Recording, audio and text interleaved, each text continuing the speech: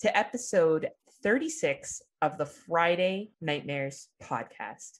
Today, we will be talking about politics and horror with a very special intellectual guest that's going to make Scott and I look smarter. But first, I already said his name. Let me bring in the smoke show, Crawford. Hey guys, ah, this is Smoke Show Crawford coming to you from Swartz Creek in the county of Genesee, in the state of Michigan, in the United States of America, in the North American continent, in the Western Hemisphere, on the planet Earth, in the Milky Way galaxy. I'm fully vaxxed, waxed, and ready to be called daddy. Waxed. That was the thing I held on to. Not that you're fully vaxxed, that you're fully waxed.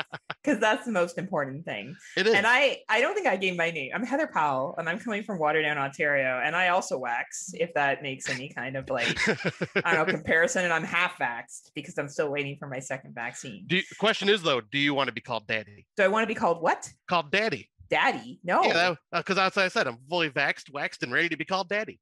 Oh my god, no. If oh, Scotty. You know what? We need to stop having so many chicks hit on the smoke show. Like this, I can't take it anymore. Between this and Gremlins, I'm going to be Uh, asking our guest to be the new host. That's what's happening. this is actually an audition. I mean, it would be, be a better fit. Um, so coming in with us today is probably one of the smartest people I know. He is one of the most supportive people of other podcasts. He is a Legion original, as far as I understand. You may have heard his brilliance through the Psychosemantic podcast, the VD Clinic, or other guest spots that he has had. He is currently training to be part of the summer series, and he's going to kick ass. He is Mr. Daeron. Welcome, Daeron. Hi, thank you for letting me be on here. When you were giving those nice descriptors, I thought that I had shown up for the wrong day. Um, But it it's it's a wonderful feeling to have your ego stroked like that by such wonderful people, and I'm happy to be here with you today. Well, it's all true. And I'm wondering if you can just give us a little bit, um, so the people who don't know you, maybe they haven't listened to you on the Legion Podcast Network, uh, a little bit about your background with podcasting and your shows.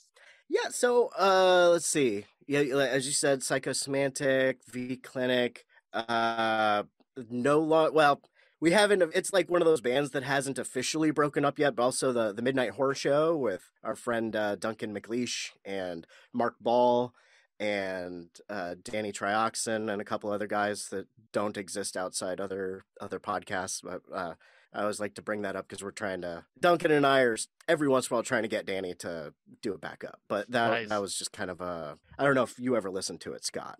I did not know Um, this one existed actually. Ah, yeah, you you can probably find some old episodes. It's mostly you know four or five guys. Sometimes we had guests, uh, just doing random weird fucking shit. But anyway, Nice. primarily the psychosemantic podcast. I am one half of the VD clinic because my name starts with D, and they needed to find somebody to take over for David when he left. And yeah, so I guess my history with podcasting was, um, you know, I I was a I got an English degree. Uh, with like uh, started as a focus in journalism. So when I graduated college, started a website and I did uh, political activism, political punk rock music. I like to interview people. So I had three episodes that you can't find anywhere. I, I don't even think I can find anywhere. And then I didn't do anything with it forever. And then I just started listening and becoming friends with more podcasters as things go. And then, uh, really around 2015, I said, "Wha- we can cuss on here, right? Oh yeah. I don't know if you have a limit. Oh fuck yeah. Uh, There's no limit, Daeron. I I figured I would just check, just just to make sure. 'cause I feel like Scott has a limit to how much you can talk about gremlins. That's the only limit on this show. Because if I have to listen to another fucking conversation about gremlins, I don't know. but Heather, the an- the 37th anniversary just came up of Gremlins. Shut up, Scott. Daeron's talking. Sorry, Daeron, as you were. No, that's all good. I just uh, realized that I was kind of ranting at everybody anyway around 2015 when politics sort of got a little bit more energized and a little more scary for everybody uh, and and uh, everybody concerned. So I just said, okay, well, I'll, I'll I'll start it back up. And I like to talk about movies and let's just have like loose conversation sort of thing. So psychosemantic, the tagline that I came up with that I think fits best is politics, movies, and political movies.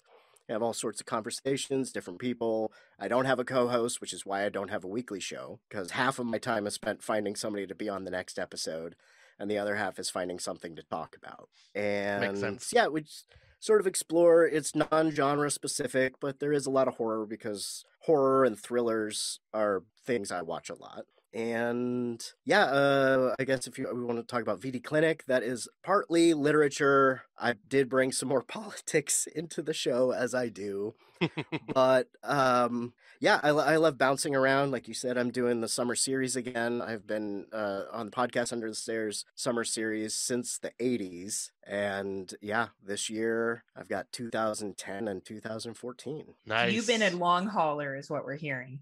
Yes, yes. I partially got in the back door from my uh, Midnight Horror Show connection uh, when Duncan started planning. He's like, hey, why don't you be on there? I was like, okay, easy enough. That's awesome. Well, Duncan's been in the game a long time. I recently became Facebook friends with Duncan, just recently. Um, and he has been podcasting, I think, at what, at least 10 years, I feel like. At least 30 years worth of content and however long Yeah. he's been doing it. That's Dude's awesome. a madman. Yeah. Right. And to to organize summer series alone. And, you know, I'm sure a lot of people who are listening to this have listened to summer series in the past. And if you haven't, you can check it out on the Legion Podcast Network. Um, but yeah, I'm Or Podcast Under the Stairs is no longer on Legion Podcast Network. oh, it's not. Nope. He went independent uh, a couple years ago. All the single ladies. All the single ladies. Friend all of the single network. Podcast. Yeah. Nice. Friend of the network. And he and Bo have so many shows together, you almost think he's still there. But Right. Podcast Under the Stairs is under the P- Teapots Collective, if I'm not mistaken. Very cool. Well, I do promo Bo and him when they do their slasher series. I'm the official Legion promo person. if you ever get into the Westworld series, you got to check out Duncan and Bo Go to Westworld. Ooh. Oh, I like know. I have to go back and listen to those. That was, anything think- with Bo, I'll yeah. listen to because I also like to make fun of Bo. So it's it kind of like it kind of just adds to it. Um, but Daeron, also you work with Vanessa, who is definitely one of the smartest women I've ever had the pleasure of meeting, and um, the two of you together is just fire. You on your own accord is incredible. Uh, the stuff that you've shared with me personally through Messenger. Like I swear to God, there's times where I'm like, "How is he so smart?" Right. and, and your ability to analyze the information it's not like you just find an article and you're like oh look at this article you're able to analyze what the impact is of what the article is talking about and i think a lot of people struggle with doing that sometimes. They just like to share information without giving context and you're really really good at doing that. So i know that today you're going to be able to share a lot of context and a lot of information and i hope everyone checks out your podcast because it really is something awesome And I think it's a little less eye rolly than people think when they hear politically slanted movie podcast. yeah, I, because it, Yeah, I, I and I think people need to not be afraid to talk about politics. If we didn't have a political system, our worlds wouldn't run. And we need to understand them. And there is nothing wrong with having a discussion about them. I think the attitude of we can't talk about it is childish, to be quite honest. Yeah, there's just a good and bad ways, I guess, to discuss politics, Eh, yes, or uh, productive and non-productive ways. I like that. might be Yes. another way. right. yeah, because your Absolutely. like because your show definitely helps teach. Because that's like I've learned a lot just from listening to your show constantly, and then I was very very intimidated that very first time you had me on the show because I was just like I don't think I'm smart enough to be doing this, but. I've, you know, it also was just first time working with you, so I was really nervous, anyways. But like, yeah, I, you definitely are one to like make your guests feel welcome and not feel dumb when they come on, like if they don't know a lot, like I do. This, You are the is- I- furthest thing from dumb, Scott. well, I mean, but comparatively, you know, I didn't know shit about politics. Well, you have bad like, taste in movies, but you're definitely not dumb. Hey, hey. if, if, if you can analyze the world around you, you can talk about politics. It's Yep. connected to everything and everything Right. you do. So might as well know a little bit of something about it. That way you can, yeah. Anyway, get off my soapbox for now. But the climbing up- training but the training for summer series so like before you start watching the movies do you get a bottle of gatorade do you get some snacks like how oh you get a bottle of gatorade everyone i'm right summer series involves training of gatorade so how many movies do you have to watch in total total, not just for my two years. uh, Yeah. just by the end of the series. yeah for summer Um, series how many movies do you need to watch Well, he's added more. Oh, So, good lord.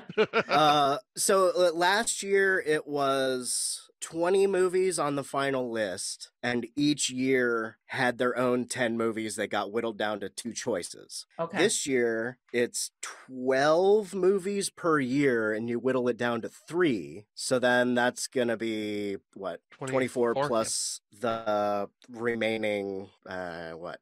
Uh, God. If there's three for every year, that's 30. oh my god. Oh wow, yeah. Yeah.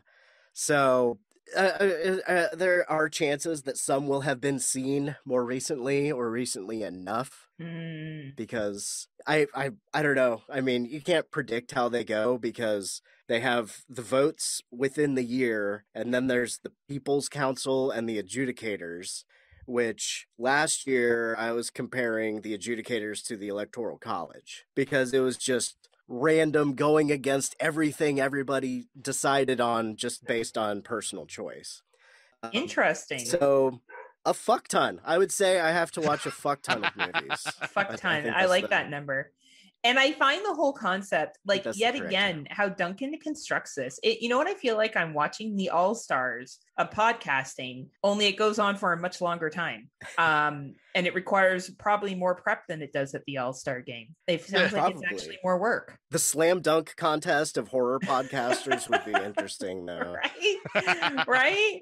And um, I love when people can argue for a movie because I will have some debates. But at the end of the day, if someone's like, I think this movie is better, I'm like, all right. I totally middle child it too by the end. Some movies I'll stand up for. Like I battled hard that Wolf Creek was better than Devil's Rejects. Oh, Wolf and Creek. I did so not win. Good. Oh. Oh, But I was beat out by friend of the show, Dave Z. He and I Oh, were on the same well, year. And yeah, Dave's, we got into the philosophical which one would be better or which one would be universally more liked. And I gave in first. Dave C does very like you. He's very analytical with his films. He does look at it from a specific lens. I would be like, I like Wolf Creek because it's in Australia, and Rob Zombie's annoying. Stop having your wife in every film. That's my argument.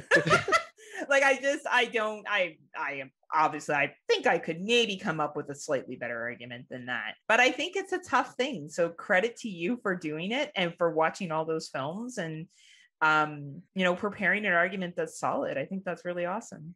Well, Yeah, I 'cause think you're it's not being easy. presumptuous by saying I pre- prepared an argument. but- Oh, okay, well, I- but flying by the seat of your pants. I prepared to Daeron, whatever works. Then you prepare to argue, and that's all that matters. I feel like my life is just making it up as I go. Every day I wake up and I'm like, how can I fake it till I look like I make it? And that's my day by day occurrence. like, no joke. Uh, Daeron and I are also NHL fans, and uh, both of our teams suck. So it doesn't Yeah, hired a new coach. right?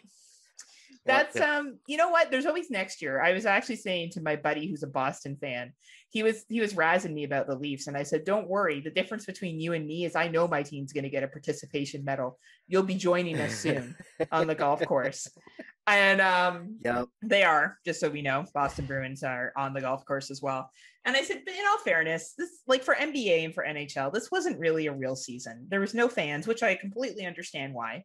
Uh, but it just didn't have the same razzle dazzle. Yeah, seeing those Vegas games with full the full Mhm. arena made me a little nervous.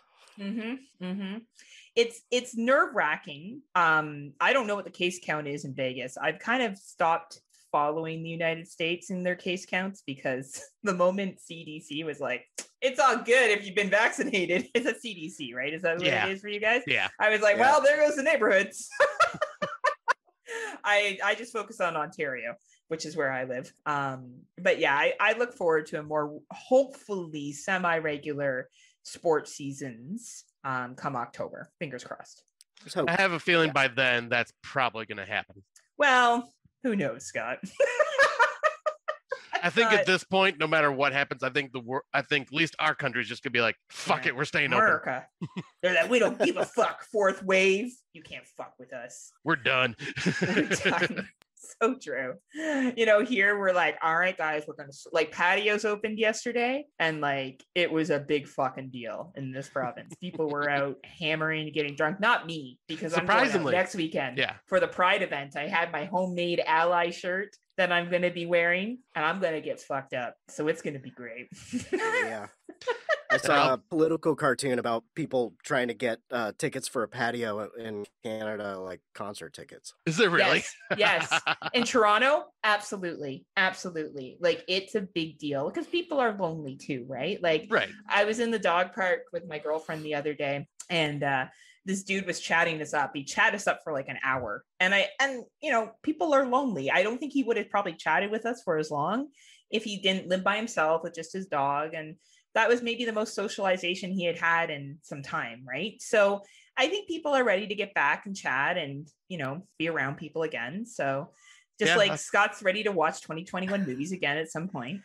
Right, one of these days. But yeah, I was gonna say uh briefly, like but yeah, I can see where you're talking about, like with people wanting to get back to just doing stuff. Because uh, I went to that uh, hometown days carnival last weekend, and like it's our little, it's our yearly tradition in this town to have like this carnival like festival thing. Obviously, it didn't happen in 2020. 2021 though, they waited till uh, the because normally we have a Memorial Day weekend, but uh, I think they decided to wait till our governor had announced uh, everything outside will not have a limit on capacity of people. And I think that's what they were waiting for. And I also think it was the first outdoor event in Michigan to happen after that announcement because, dear God, this my, my town was packed full of people.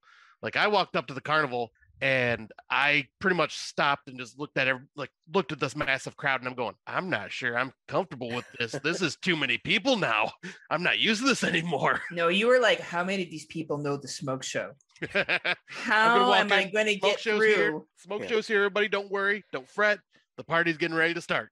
Did you go home in time? See how he lifts up his line? arm when he's doing that? Yes, he does. He's like the smoke he show. Does. He does.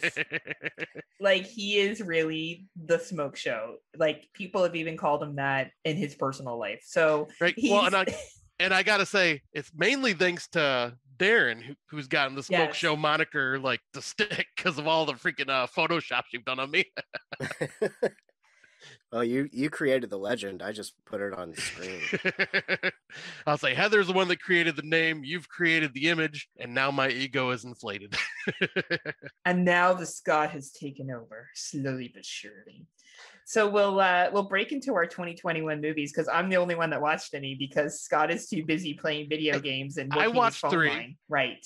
Three. Okay. I, at I'm least actually at least Daeron's being a real podcaster and hey, working on the summer series. You know, it's not it's not easy to be the smoke show and to run the sex line that I've been running. it's true. I really want to call it. It'd be so funny. like I just picture you in like those tube tops at home, and you're like, "Hi everyone." It's Friday night and I'm home here hanging out. Like those are the best commercials. Anyway, we will get to our 2021 film. And we'll get so. to we'll get we'll get to the smoke show hotline later. Yes, we'll make sure we advertise it before we finish. yes, nine seven six number. right, one eight hundred got smoke. Um, so we'll start with the first movie, which I have you seen this one, Scott, or did you not watch it on my recommendation? I can't. I uh, I avoided it due to your recommendation and due to a lot of other people's recommendations. Yeah, so this this was a theater release. Uh, Daeron, have you seen this one? I'm no, because you've only seen Psycho Goreman, right? Yeah, from from this year, yes. Uh, well, especially you, in horror genre. Yeah. Well, I can I can save you some time, Daeron. Don't watch this one either. So okay. this is a 99 99 it's got 99 problems of being a good movie ain't one 2021 movie and it's called the unholy and it is available on in case anyone decides they do want to rent it Google Play, Amazon Video, Microsoft Store, YouTube, and Cineplex. Um, Cineplex for Canadian viewers. It's basically like a movie that's based around um, the Catholic Church and the wrongdoings they have done to witches, and what happens when one witch comes back for revenge and you can put it together from there. And see that the synopsis sounds like it would actually be pretty decent, but it sounds so bland from what everybody's it's just it's very much like your average ghost religion movie. Yeah. And the CGI is a little painful. Was it entertaining enough to watch? Sure. For a free watch, because we did watch a screener, it was fine. Um, would I recommend people pay to rent it? If you really like religious films a lot and you really like when the Catholic Church looks like assholes, this might be a film for you. Ooh, well then Um, you got my interest. oh.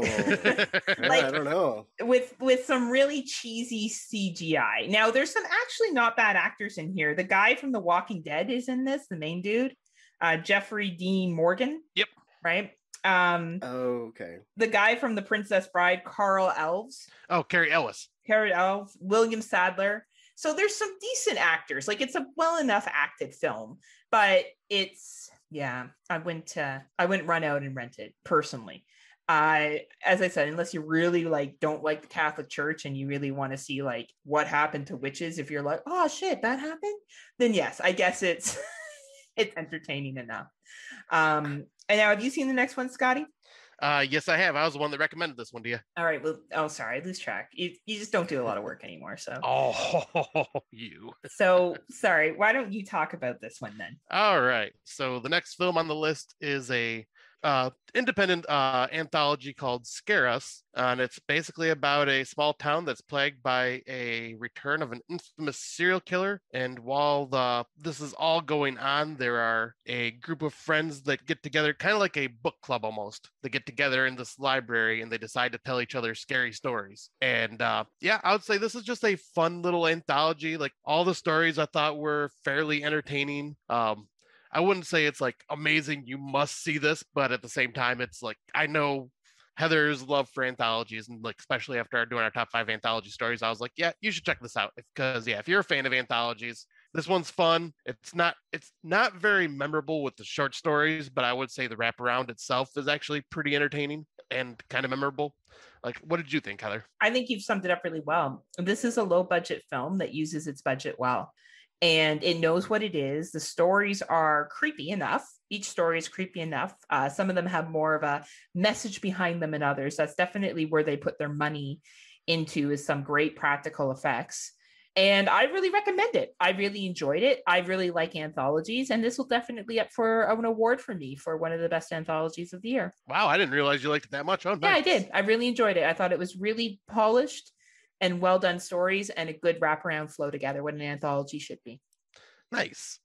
Um, and should we? it's not uh, available yet on an, on my Letterboxd. So Oh, I'm okay. assuming it but this might be something that's picked up by Shudder eventually. yeah, Um I, I could see that. if not, probably the usual suspects, Google, YouTube, you know. Yeah, I have a feeling this one may get overlooked just because of the title. Because how many scare me's did we have last year? And now there's a scare us, so people Yeah. may not even think of checking for this one. And no longer just scaring one person, we're scaring all the people. Yes. Everyone's pronouns are getting scared now. Yes. Yes. right? Uh, the next one is The Woman in the Window. Have you guys seen this one yet? Not yet. well, it's uh, Amy Adams is in it, and Amy Adams does a very good job. Uh, she Gary Oldman's in it as well. I didn't even recognize Gary Oldman. It had been so long. Eh, For a free watch on Netflix, if you're looking for just like a murder mystery kind of deal, it's enjoyable. And you'd have really low expectations. My understanding is this is based off of a book. So I don't know if the book is maybe better the ending and the whole movie is kind of easy to predict to predict but it is an easy watch. So i think if you have maybe someone who you want to watch a horror movie with but they don't really like horror they're more into mystery i think this would be entertaining. Do i think it's going to be top 20 top 30 top 50 material? No but i think it's a decent little mystery flicks and right now it's just available on netflix i don't think scott you've seen it have you no, no, this one was uh, one that I think you and Brandon were talking about, and I was kind of like, eh, I'm not gonna. Doesn't sound like I should waste my time on it. Yeah, like it's a free watch on Netflix. So I think if you yet again have someone like I don't know, Daeron, does your like wife really like mystery films? Yes. Does she like horror films? Usually. Okay, She's then got to she be in the right like right this. mood for it. But um, Does she like Amy Adams? I, you know, I don't know what I'm trying to picture other things that Amy Adams was in. Was she in Enchanted? I think she. I think she Yeah, was she the one in. Enchanted because I like that movie. Okay. Yeah. Uh, she well, she might like it. I've got her watching the Watchmen series right now, okay. Nice. and uh, yeah, Well, we this we is picked something like we watched Us together. Ooh. And she liked Uh, it, yeah. right? Oh, she's a big Jordan Peele fan. Mm, she has good taste. I like that. Um, yeah, this is I yet again Netflix free watch. It was fine, but definitely I would put it more as a mystery than I would as a horror film. So uh, the next one I know Scotty has seen because he referred me to it. yes. Um, but before we jump into that, I was gonna I want to get uh Daeron's thoughts on Psycho Goreman since he did watch that. Oh, it was the goriest Mighty Morphin Power Rangers or Ultraman episode I've ever seen in my life. Right? I I thought it was fun. Um, I'm glad I waited a little bit because sometimes when people talk up a movie a lot, I grade it a little harshly. I did not really like that little girl all that much. yeah, that seems to be the biggest complaint. I mean, it it just seemed a little bit a little bit like she was. I don't know. I, I'm not really sure, but maybe it's just because I have memory. My like my older sister was nice, but I definitely had an older sister that did mean things to me, and I can imagine. Like I said with uh the gate, her fucking with me and the crawl Oh, yeah. behind my closet and stuff. Uh, it, it seemed a little bit like the character was trying to be like Louise from Bob's Burgers, but. Yes, that is a great comparison. Uh, but in general, it, it was a fun movie, especially a decent amount of stuff I've been watching lately is kind of heavy. And it is a good throw it on and just watch it kind of horror movie. Ah, that makes me happy because like you've known I've talked about this movie a lot and I freaking love it from here in our show. Because that's, that's just like my total jam though. but yeah, I I, I wanted had to, to make sure that. I got it in before we talked. oh yeah, that- that's awesome. I was saying, yeah, um, but yeah, thank you for sharing that because yeah, I, just- I really wanted to know your thoughts on that one. um, but it yeah, I guess fun. It was, it was it was worth the time. awesome. Yes, I feel vindicated then. um, but yeah, I guess I will jump into the one that we were just uh, that Heather brought up. Uh, the one that I had recommended to her was uh, called "The Sound of Violence," uh, where a young girl recovers her hearing and gains synesthetic abilities during the brutal murder of her family. And to find solace in the sounds of bodily, she finds solace in the sounds of bodily harm. Uh, so this is a really interesting story. Um, where once again it's one of the it kind of reminded me of bliss in a in a way where the uh protagonist or the character you were following you really can't get behind though you have a little more sympathy for than the character in bliss uh, but I thought this one had just some really unique kills, a very interesting story, and a pretty uh, messed up ending. yeah, it's my number one movie. wow, Yeah. that's awesome. I think, and the reason why is because I really respect movies who take a different concept that we have not seen before. Yeah, And this concept of what this character is motivated by and why, I have not seen a movie like this. Now, maybe Daeron will watch this, and I feel like he's seen a lot more movies than I have, and he'll be like, yeah, there is something similar to this. But I just think that the practical effects in this, especially in the ending scene, were out of this world. Good. yes, Um, it was clearly a movie that yet again did not have a high budget, but the acting was very good. The setup was very good. The main character you had mixed feelings for, hmm which I think is a very good way to present a movie like this.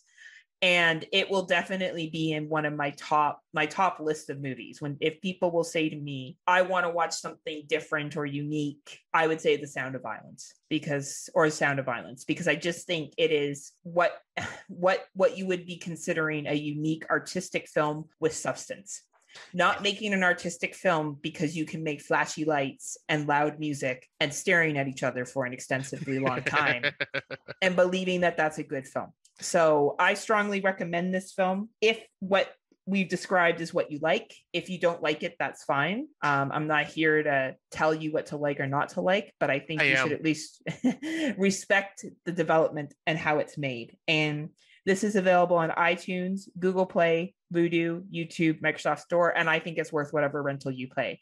I would own a physical copy of this movie, which Yep. for me, who doesn't own physical media, that says something. Yeah, and uh yeah, because I haven't really ranked this one yet in my list, but it'll at the moment it'll definitely be in my top ten. Where exactly, I'm not sure, but this movie was just freaking awesome. It was. It will stay in my top ten this year. Very few movies will compete to knock this out. Yeah, I, Um, I agree. The next one is the saltwater the Battle of Ramree Island. Oh boy. This is a low budget crocodile film filmed in World War II. Hmm. Uh, it it basically talks about uh, this troop that's abandoned on this island, and there's a saltwater crocodile that's going to eat them. There's some racial tensions that happen, and I think they actually handle it well for being World War II on what would actually happen within the British Armed Forces. There's a gentleman that's from India that's serving with them, and uh, Ah, some issues yes. occur, and that probably did happen. Like I, I think that they're not shying away from it. The dialogue is good, but it's a long watch. This is sitting at a hour and a half, so a 90 minute runtime, and it feels like a 90 minute runtime. It is available from uh, Google Play, both in Canada and United States, Vudu, Microsoft Store, and YouTube.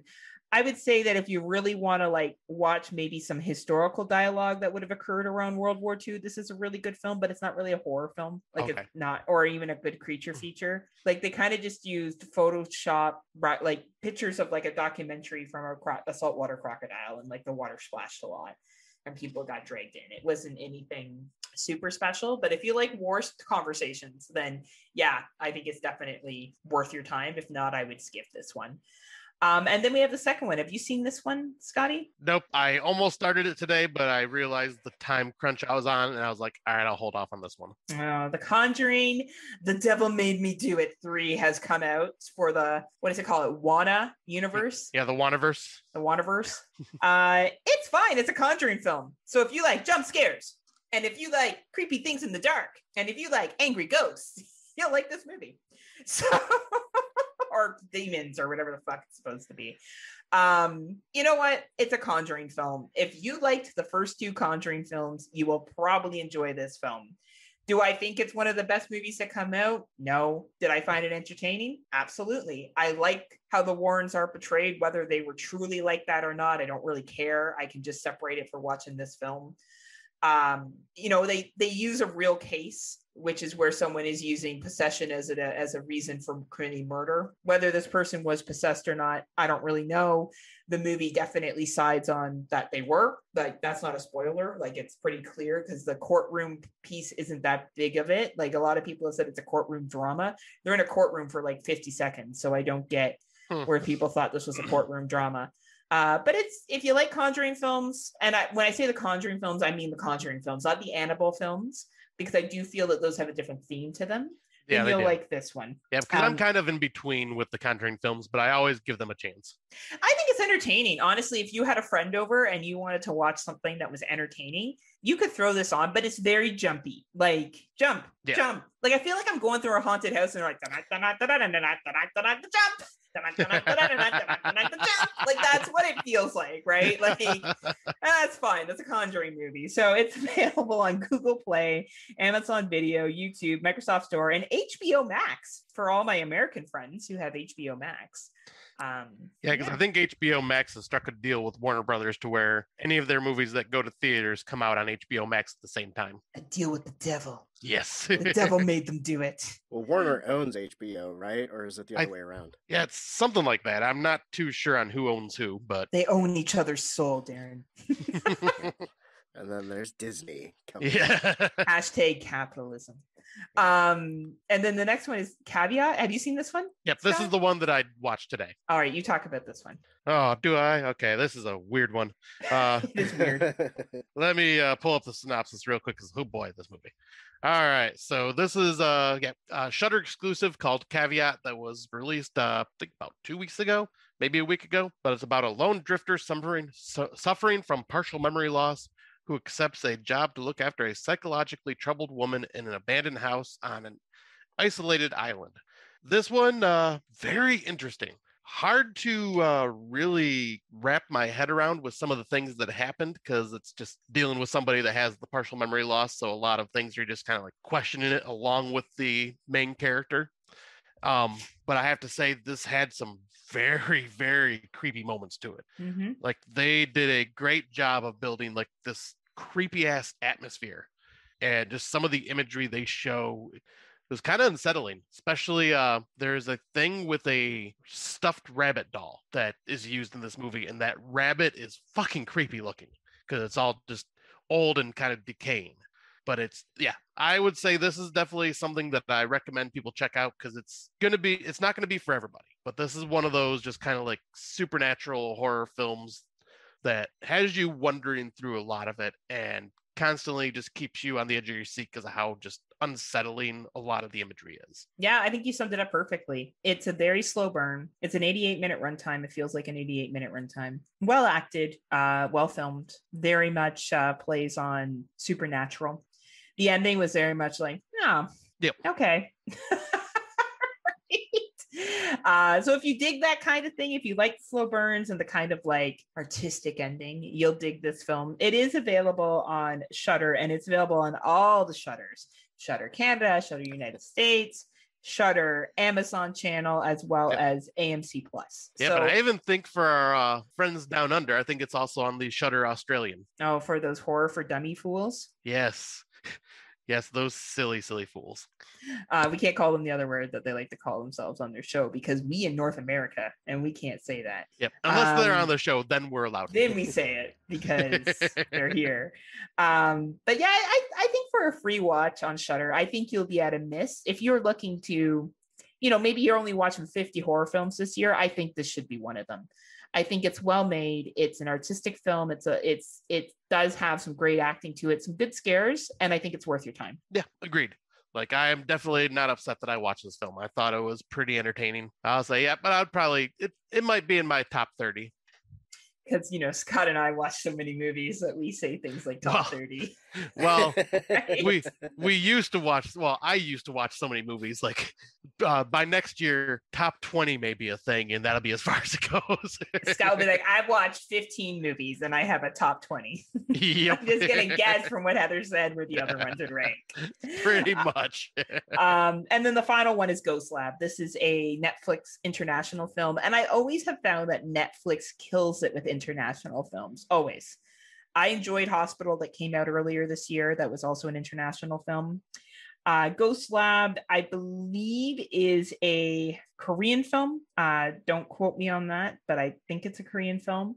It's 117 minutes long. Like it's a long film. Like you're you're packing in there but it's basically about two individuals that witness a haunting and then want to find out what happens in the afterlife and Ooh. an experiment that they do. It's actually very well done. It's very creepy. Daeron, you're you yourself and your wife might enjoy this movie. Uh, you can watch it dubbed or with subtitles. Uh, I feel like you and your wife would watch the subtitles. But if We people do want to watch it with dub, sorry, what was that? We tried to do the subtitles whenever possible. Yeah just it causes a better flow right? I'll use dubbing if i'm doing something else and i just want to catch what's going on. Uh, but sometimes the dubbing and you know what gets translated to english isn't the same as what it would be in the native language.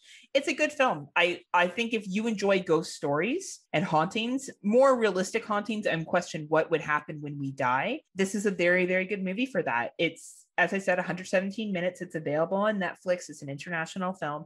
I think yet again, if you're sitting to maybe, oh, I'm only going to watch 50 horror films this year, I think this should be one of them. If you like international films and ghost films, if that is not your thing, then you may not enjoy this. So don't waste your time. But it's definitely not a bad movie, but it is a long movie. that is one thing I've learned from last year too, is uh, because you know I used to not be a big supernatural ghost movie person, but a lot of the international ones, especially from last year, were really well done. So I and I think it's just a lot of the American ghost stories are just typical boo jump scare, boo jump scare. You scare. mean The Conjuring? That's Yes. the jump scare, jump scare. Yeah. Yeah. The Conjuring and Paranormal Activity have pretty much shaped what our supernatural horror films are for the most part.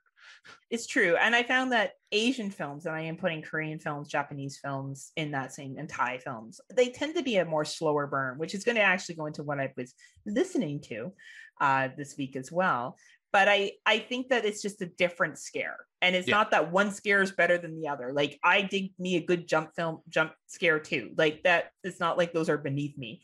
It just all depends on what you're in the mood for. Yeah, exactly. And I really like Spiral. Just to be clear, Spiral with Chris Rock is my favorite Saw movie. I don't care how that makes me sound. I don't love the Saw series to begin with. I think it is okay, and there's nothing wrong if it's your jam. But I loved this retelling. I preferred the cop drama piece of it. I enjoyed Chris Rock's humor throughout it. I thought it was funny. And yeah, it's predictable as shit. No kidding. Um, and the other ones were not. The first watch for a lot of the saws, you had no idea. I will definitely give them credit for that. But I just enjoyed the flow of this movie a lot more personally for me. I was saying that's awesome because yeah, I, I once again that was one that I you know I championed like and it felt like I was like running up a uh, hill covered in ice. It was a losing battle until I like. uh, I'm glad to know others are with me on that one. But I think, like I said before, it's people who are huge fans of the franchise will not like that film nearly as Mhm. much. Where people like you and I were, were like, eh, the franchise is okay. We'll like it a lot more. How do you feel about the Cool. Saw films, Daeron? I gave up after the third or fourth one. Uh, you might like this then. Yeah, I'll say you probably like this one a lot better then, Yeah. because it's the- definitely yeah, a lot like, better the first one was cool. Yeah, I, I think I I feel similarly to how you two are describing your experience with the with the series. Like by the time it got to the third one, it was always like the camera work was dun dun dun, flash, flash, flash, flash, flash, flash. And then like I got so tired of the self-righteousness. You have not tipped your servers enough at the restaurant. So now you must decide between whether you live or die. But you who's like committed murder for 15 people, you know what? That's okay. You who made a one-time error, you have not appreciated your life enough. And I really found Jigsaw fucking annoying. Like he sounded like the most annoying motherfucker ever like his wife must have been like shut the fuck up. Like why do you have to be so self-righteous all the time? Now mind you i can't remember the actor who plays him. Tobin bell, Bell, right? Yep, yep. great actor. He did an awesome job. It's no criticism to him. It's he's you know reading what's been written for him. And i enjoy the traps. I get the traps and that process of it but the story is so convoluted and Mhm. everyone buying into Jigsaw's way of life, and this happens and that happens, and it's just it's not my my jam. So so Daeron, I recommend Spiral for you. I think you'll find it just a little bit more palatable. if Yeah, I was gonna say that's a great word. Yeah. Wasn't your jam, you know, and that's not to yet again hit on Saw fans. If you love Saw, rock on. I want to ride the Saw roller coaster in England one day. That would be a great, you know, hashtag dream. But Oh wait, there's a Saw roller coaster in England. yeah, in England, yeah, Huh. yeah, you can find it on YouTube. I'll have to look into that. Interesting. Yeah, I like my roller coasters. I know you do. You adrenaline junkie. So we'll break into older films and we'll have Daeron go first. Daeron, do you want to share two older films that you're doing for summer series? Yeah, let's okay, two. That's thank you for giving me a number because I wasn't sure how many. uh okay. You said you enjoy Asian cinema. Yes. So, have you seen a South Korean film from 2010 called Bedeviled? I have not. No. Uh, that one is about. I'm pretty terrible at pronunciation, and then my years of Spanish class show horribly translation of other languages. So, Hei Wan, I will say her name is, is a girl who lives in uh, Seoul. Is that how, is that how you pronounce the capital of South Korea? So I think it's Seoul. Yeah. So, Okay.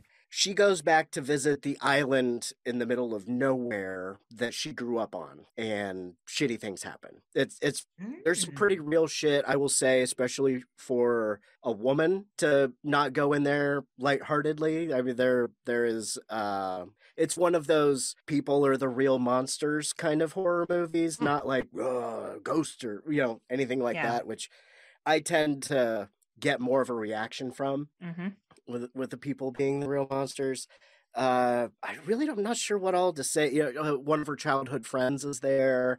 There's re revisiting the past, seeing what happens when lives diverge and when they come back together. Uh, yeah, 2010 Bedeviled. I don't know what its original title was, and I I would say the second one because there's some. I'm doing. Uh, I'm recording 2010 tomorrow, actually. So Oh, it's been Wow. a lot of 2010 stuff.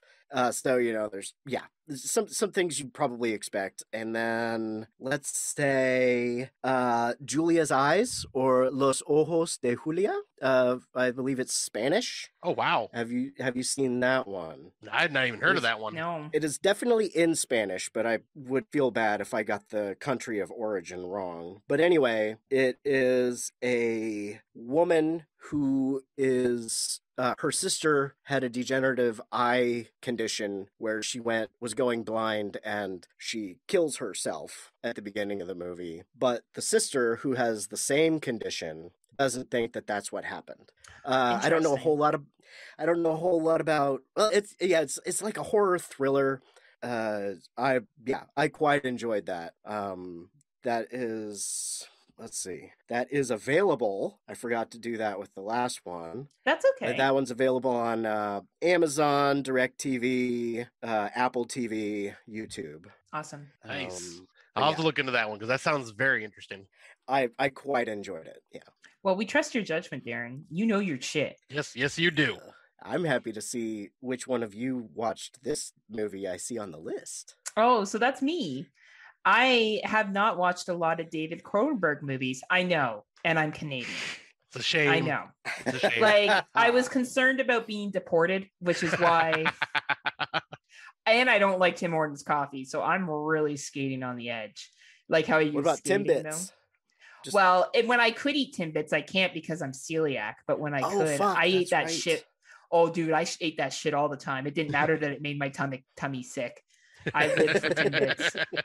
Like even now, it's like my friend's daughter will get Timbits and she'll be like, "Do you want one, Auntie Heather?" I'm like, "Oh, you know, like Auntie Heather can't have it." She's like, "More for me." Like it's just really like Let me rub it in your face. you're lost. That's what you get when I'm five, and I don't give a shit.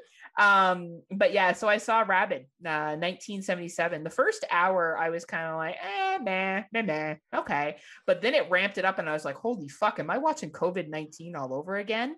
Just talking about the vaccines, and then they were giving vaccine cards to people. So this movie was filmed in Montreal, which I love when things are Canadian, filmed in Canada, and acknowledge that they're Canadian. It really like gets me going. But this was just fucking awesome. I I'm I haven't seen a lot of 70s films. For people who listen to our show, they know that that's my blind spot. And this was great. It it was no Italian 70s film, but it was it was really solid. Have you seen it, Daeron? Yes, uh, this is another film that I watched with the missus. Uh, Nice. It was on Turner, usually on uh, in October. Turner Classic Movies here in the states. I don't know if you have Turner Classic up No. in Canada. No, I know who Turner is, but I like the it's They- Ted Turner, they- right? Is it his network? It it was. Is- I don't Okay. even know if he's still alive, but um, like uh, one of the main hosts is uh Ben Mankiewicz, who is if you watch that movie Mank that came out last year, that was uh the Oscar contender about screenwriter that worked on Citizen Kane. That's like his grandson or his Oh, cool. grandnephew. But they have the uh but in October they really do a lot of old horror movies. And then you sort of feel old when they're like, Yeah, this movie's from 1995. Well, fuck you. Damn it. and you realize But, that's yeah. not like 20 years ago. right? yeah. Uh, so you know they usually do a lot of Hitchcock and Cronenberg classics and all that other fun stuff. So we watched it then, or it was you know time's kind of been a, a flat circle as as they say in uh, True Detective. Uh, so I can't re- exactly remember. I've watched a lot of movies like you were talking about. Is this COVID all over again?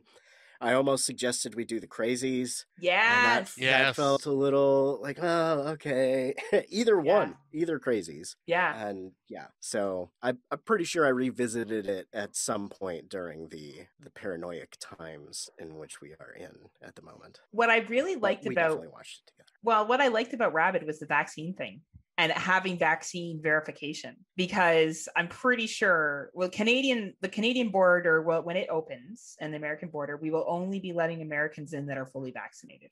So I thought that was Good. interesting. So there's going to have to be something on like Scott when he comes to visit will have to have his card I assume short to the border guard along with his driver's license because he has an enhanced license to be like yes i am vaccinated. So he's able to go into the country. So i and i imagine that for canadian citizens there's going to be travel restrictions if you're not fully vaccinated. Um so i thought that was really interesting in that movie in 1977 and i was like wow here we are talking about that and here i am watching it from so long ago. Yeah, this So- is this is one that I need to revisit because uh, I watched it for the first time probably about I'd say six, seven years ago, and it just didn't hold my attention. And I think it was like you were saying that first hour made it so I just mm-hmm. kind of lost interest, and I never, and I've never went back to it. But I'm also this will probably piss off a lot of people, but I'm also one of those that thinks that Cronenberg is a bit overrated. Like, I know he's like he's a great filmmaker, but for his films, a lot of them don't hit with me. There's only Yeah. a handful that really hit with me. Um, you're dead to me. But besides that, um, no, I'm just kidding, Scott. I think that you make a valid point. I think he is an incredible filmmaker for what he does. I think he does body horror very well. I watched The Dead Zone, which I really much enjoy. I very much enjoyed. Uh, Scanners, I really liked. I love Uh, Scanners. Dead Zone I almost picked for that for this episode. Yeah, it's a good film, but I think he is an acquired taste, much like Mhm. his son is too. Yeah. Right. Like, so, you know, I, it's like any director. And I was in a debate on my other podcast about, you know, directors too. And it all is all going to come down to who connects with you. Right. Like at the end of the day, a, a director can be very solid, but if you don't appreciate the work, then you don't appreciate the work. To you, they're going to be overrated because that's not your jam. So, And for me, like you know, this could just be uh, something that I just need to go back and revisit a lot more of his films. I think watching it now, Scott, you'll have a different appreciation with what's Yeah. happened in the world. That's kind of what I'm thinking, and I'm, uh, just because uh, for what we're doing for our Patreon soon, I will be rewatching it. Yes, yes, we'll have to plug that later on, right? you know, just making sure we're setting ourselves up for that layup. and I mean, there. I'm great for a tease. That's true. At one eight hundred Smoke Show, and like we would have to be talk. like five ninety nine for the initial minute, dollar ninety nine for every follow minute. Um, so what You we've been listening. Bitcoin. yes, Yes. Yes, Scott also takes Gremlin toys as payment. it's true. I do. And magic cards as Yep. payment as Well, well. well, some of those magic cards, yeah. Someone give me a Black Lotus, I'll be good. Oh my god, fucking magic cards anyway. Um, Hey, a Black Lotus could buy you a freaking Yes, house, okay? I know, and there's like magic cards that cost a lot of money in a deck, and you never know what you're gonna get, and it's just like gambling. Listen to controllers up, cards down for more information on Scott's magic cards and, and what he gets in the mail and how much he loves them. Please listen today. Uh, so what we've been listening to, Daeron, did you want to go first with a show that you wanted to shout out? It doesn't matter what show it is. Yeah, I I would say okay. I I would recommend since it's less known. I had two in mind. The one that's definitely less well known is a show called Dixieland of the Proletariat. Hmm. and it is a couple guys and a woman or two uh, rotating down in Alabama, and they are communist, socialists, activists, union rights, like. Uh, it's like Southern working class stuff. Uh, the last episode I listened to, I'm doing a little bit of catch up, but they were talking about the Wilmington race riots. Uh, they had, I don't know if you are familiar with, with what's going on with No Evil Foods, No. which is a progressive food company that did like Amazon style union busting and fired a bunch of fucking people. They had uh, people on that were trying to organize a union and they interviewed them and that i mean for a while there you couldn't even get that episode because no evil foods was threatening lawsuits to and had to have it taken down and Oh wow. um, you know, it's it's some white guys, some people of color, some women. Uh, one of the regular hosts, I don't know if she's always on, is uh, Native American. Uh, it's pretty eclectic. Uh, and the main host is like a poli sci master's or PhD student down in Alabama, and it's a bunch of people he knows, and they all get together and talk about different things. Sometimes they cover books, sometimes they cover history, they do yeah it, it's pretty interesting and pretty cool and uh i like to support them and i learn a lot from them i would That's say That's awesome. And uh, where do you find them? Are they on Spotify, Podcast Addict? Where's the best place to locate them? uh, i always listen to them on itunes or whatever they're calling themselves Awesome. now Oh yeah. Yeah. Nice. uh, they're really fun on twitter Awesome. Awesome. I dig it. I also respect the fact that they're from the South. Uh, Yeah, and I feel like their values maybe aren't as common, you know, among it it some people. it does contradict a lot of uh generalities people toss out there about the south right? That's good. We need to have our generalities uh, challenged. Too often, I even find myself making um, stereotypes, and you know, to say that people are a certain way just because they come from a certain state isn't fair.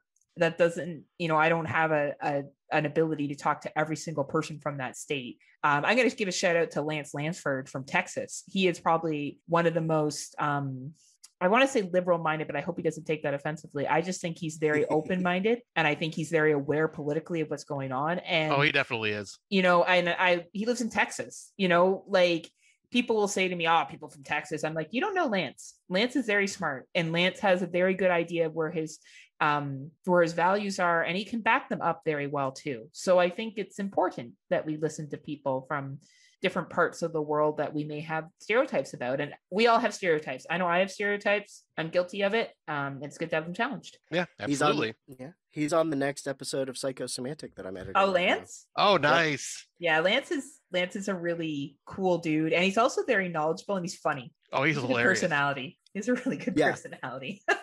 Yeah, he's he's fun. He's been he's been on before. I think the first episode we did together was on Snowpiercer.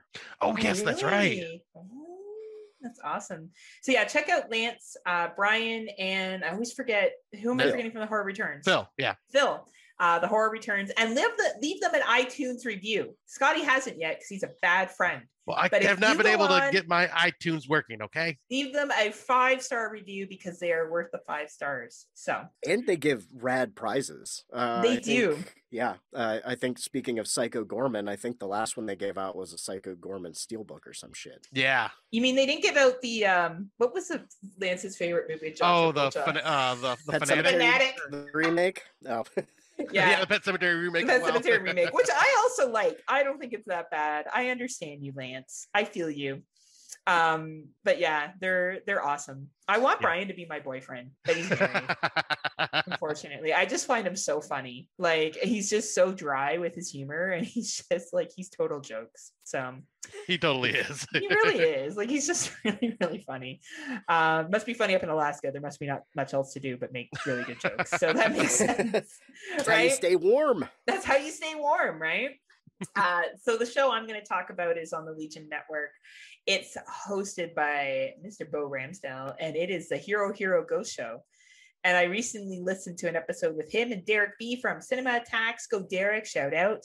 And they talked about One Missed Call, the obviously the original version for the original movie. And man, they did a good job of talking about it. And they just know so much about Asian cinema. And for someone like me, who's really new to Asian cinema and just kind of learning kind of the tradition and the cultural values, like they just nail it. And they're so entertaining to listen to. Like Derek is a walking encyclopedia of knowledge. I oh, he so is. I love Derek. Derek is one of the nicest people as well. He always shares pictures of his dog with me. Like I get dog pics from Derek all the time, and they're the best pics. Like he has the cutest puppies. I they're fucking adorable.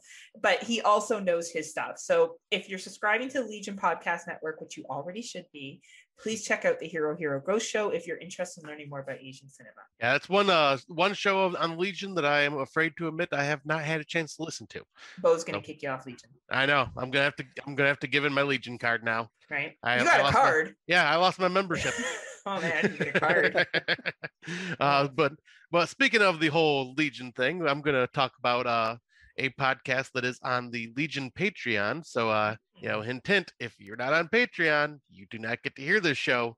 But uh, it is once we're I guess we're just giving lots of love to Mr. Bo Ransdell today because this uh this show is also hosted by him and it is the Ouija Experiment Experiment and he it is a once a month show that he hosts that he has uh another guest from the network or someone that's just in our legion podcast channel join him. They pick a movie with the word ouija in the title and just it's kind of a crapshoot because there are just so many bad movies with ouija in the title that it's pretty much uh the him and the guest pretty much tearing apart one of these movies or looking into it actually and like you know giving it a, giving it an actual shot and saying like whether it's good or bad but 99% of the time it's pretty bad i know heather has been on two of the episodes uh twice. I'm Bo's actually preferred guest. He hasn't ever said that.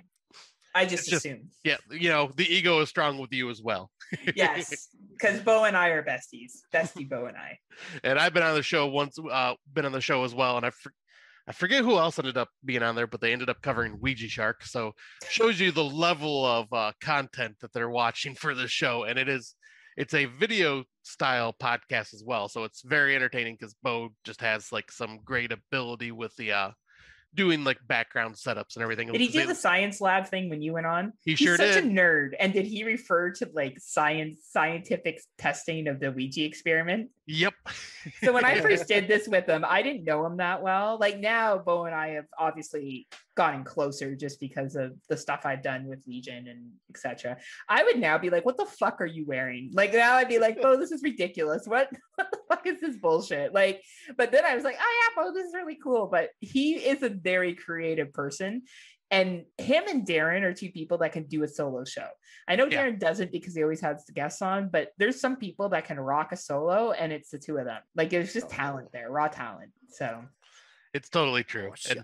Oh, we only speak the truth here, Daeron. yeah, we can't rock solo shows, Scott and I. We Oh god, it would be it would be embarrassing if it was me by myself.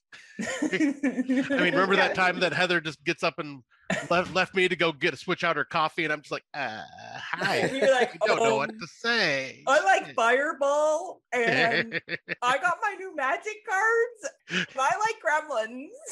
Aaron's like, it's okay, Scott. It's okay that Heather bullies you about it. You're accepted here. Uh, I the had a abuse. friend try to teach me how to play magic, and I just couldn't figure it out in high school. He's like, "No, but see," I was, I was like, "I, I'm glad you're having fun. I just don't get it." Yep, it's It- definitely uh, it's like not I for couldn't. everyone. Yeah, it, it seemed cool, but it was yeah, it was like I played Hero Quest, not Dungeons and Dragons. That was like my Yep, understandable. See, My Daeron was secretly span. like, aren't you mad about the political shit that's going on in our school? Wait, like, So, guys, while we're talking about this, do you realize the inequality that's being pushed upon us in our classrooms? I would have loved to It's go right to high there. school with Daeron. I would have totally hung out with Daeron, so I would be cooler. Like for sure. I would have been Yeah. like, this guy's Hang the out. shit. hang out in the basement with me and the other skater kids. That's right. I would have. I would have tried to hit on all your friends too. Like for real. Right? I probably would have I on had some too, very handsome like friends. You know, I've been like hitting on all of you, just like throwing it all out there, see where it sticks over the. That's still my life, just so we're clear. That's still what I do. Nothing's changed. What did we say? I was during the prom episode, I was telling Scott about me grinding on a boyfriend so much that the teachers told us to leave room for the Holy Spirit. And Scott's like, So I see nothing's changed. I'm like, Yeah, no, like for real. Like 20 years later, still the same shit. and that's why we love you. It's true. I had the best compliment was given to me is that I was that I'm real and authentic. And I'm like, well, I guess I am. Like it's Yeah, You You know? absolutely are. like, I don't make any bones about it. I'm like, this is it. Either you like it or I you feel don't. ashamed about something there's not not to be ashamed about. exactly. Right? Right? Exactly. Thank you, Daeron. Daeron. Vindicated. Um, vindicated. so, thank you everyone for listening to our show so far. We're going to take a brief break and listen to one of our Legion friends. I'm sure Scott's going to probably choose one of Daeron's podcasts to promo in between. More Maybe likely. you could do both. You could do both. Yeah, I could. promo Vanessa as well. Good. Give Yeah, her Vanessa voice is on the VD Clinic one. Okay, who does the intro for the VD clinic? Is that Vanessa? The the voiceover? Yeah. Not not the song. The song is some VD PSA that she found way before me. But yeah, that she does the the sultry narration. No guess you would way. Yeah. That Yep, is that's- the sexiest fucking voice I've ever heard. Like for realsies. For realsies. Yeah, that that is her. wow. Vanessa's so cool. Next Oh, level man. connection. The budding cismance Man. between you ladies. like- and yeah, yeah. well, we get along really well. We did that episode with you, and like our views are completely the same. So when eventually Vanessa and I do our little short series, it's just going to be us being mad about the same shit for like an hour. It's going to be great, And yeah, it's gonna be awesome. right? and I'll Just be so angry, listening to it. Right. After these messages, we'll be right back. Ooh, double down. Are you sick of the same old stale oh, podcasts? Well, then join Vanessa and Daeron as they dissect movies of all kinds. The two lifelong cinema lovers bring their favorites, curiosities, and first time watches to the operating table and inject them with a healthy dose of snark. Then there's the waiting room where they examine books and short stories. So just look for them on Apple Podcasts and where fine podcasts are available. They're part of the Legion Podcast Network. Follow them on Twitter at VD Clinic Pod Join them on Facebook at facebook.com slash groups slash vdclinicpod or email them at vdclinicpod at gmail.com. They're ready to cure what ails you. and still, they just might be a little contagious.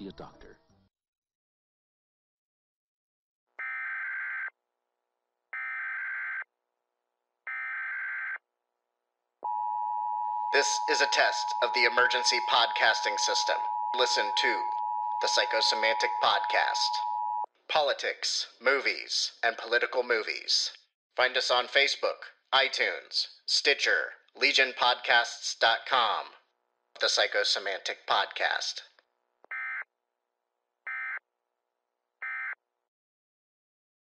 And welcome back. I hope you loved listening to Daeron's shows. Uh, you can go back and listen to those when you're done listening to this one and see what better shows sound like. Uh, but today, uh, because Daeron is on, we are going to be talking about politics and horror. And I was, I really wanted to go with the low hanging fruit known as the purge. But we did not go with low hanging fruit. We actually pulled from some other awesome movies today. Two were a first time watch for me. Uh, one is a beloved watch for me, and uh, one of those first time watches turned into one of my favorite films. But we're going to give a little article about horror and politics. And now I know a lot of people will say things like, well, I don't like talk about politics with my horror. And all media is involved in politics to some level. And the horror genre is no different. So there is an article that I will read from that you can find at Horror Geek Life. And it's by Stephen Oh, Rosenberg. I used to write for them. but it's not by Scott Crawford. We'll have to read one of Scott's Crawford. What did you write for under gaming? yeah, but it was video game articles. Oh, look at you, huh? the smoke show knows no bounds. Uh, and this is back from November 3rd, 2020. He starts off Ooh, with I know, election. I know. It's Oh, wow. election day. So it was election day, November 3rd, right? Yep, that sound. I, I think that was the date. It's always That the was his first day. Tuesday in November. That Daeron didn't So- sleep. Yeah. Oh, I didn't sleep for about that month. Yeah, no kidding. and by this point, the only thing you want to escape from is the droning existence, dread of a future in which your candidate loses. I'm not here to tell you which way to vote, so at ease, soldier. I'm here to point out that, especially over the last few years, a talking point I've heard come up countless times is to keep, palace, keep politics the blank out of it, be it professional sports, the acting industry, food labels, video games, that response to be, to seems to be the immediate go-to, as if politics have no place in our lives aside from directly in our own existence. As if the people involved with these things have no right to believe what they believe or decide what they decide. I'm passionate about film, extremely passionate.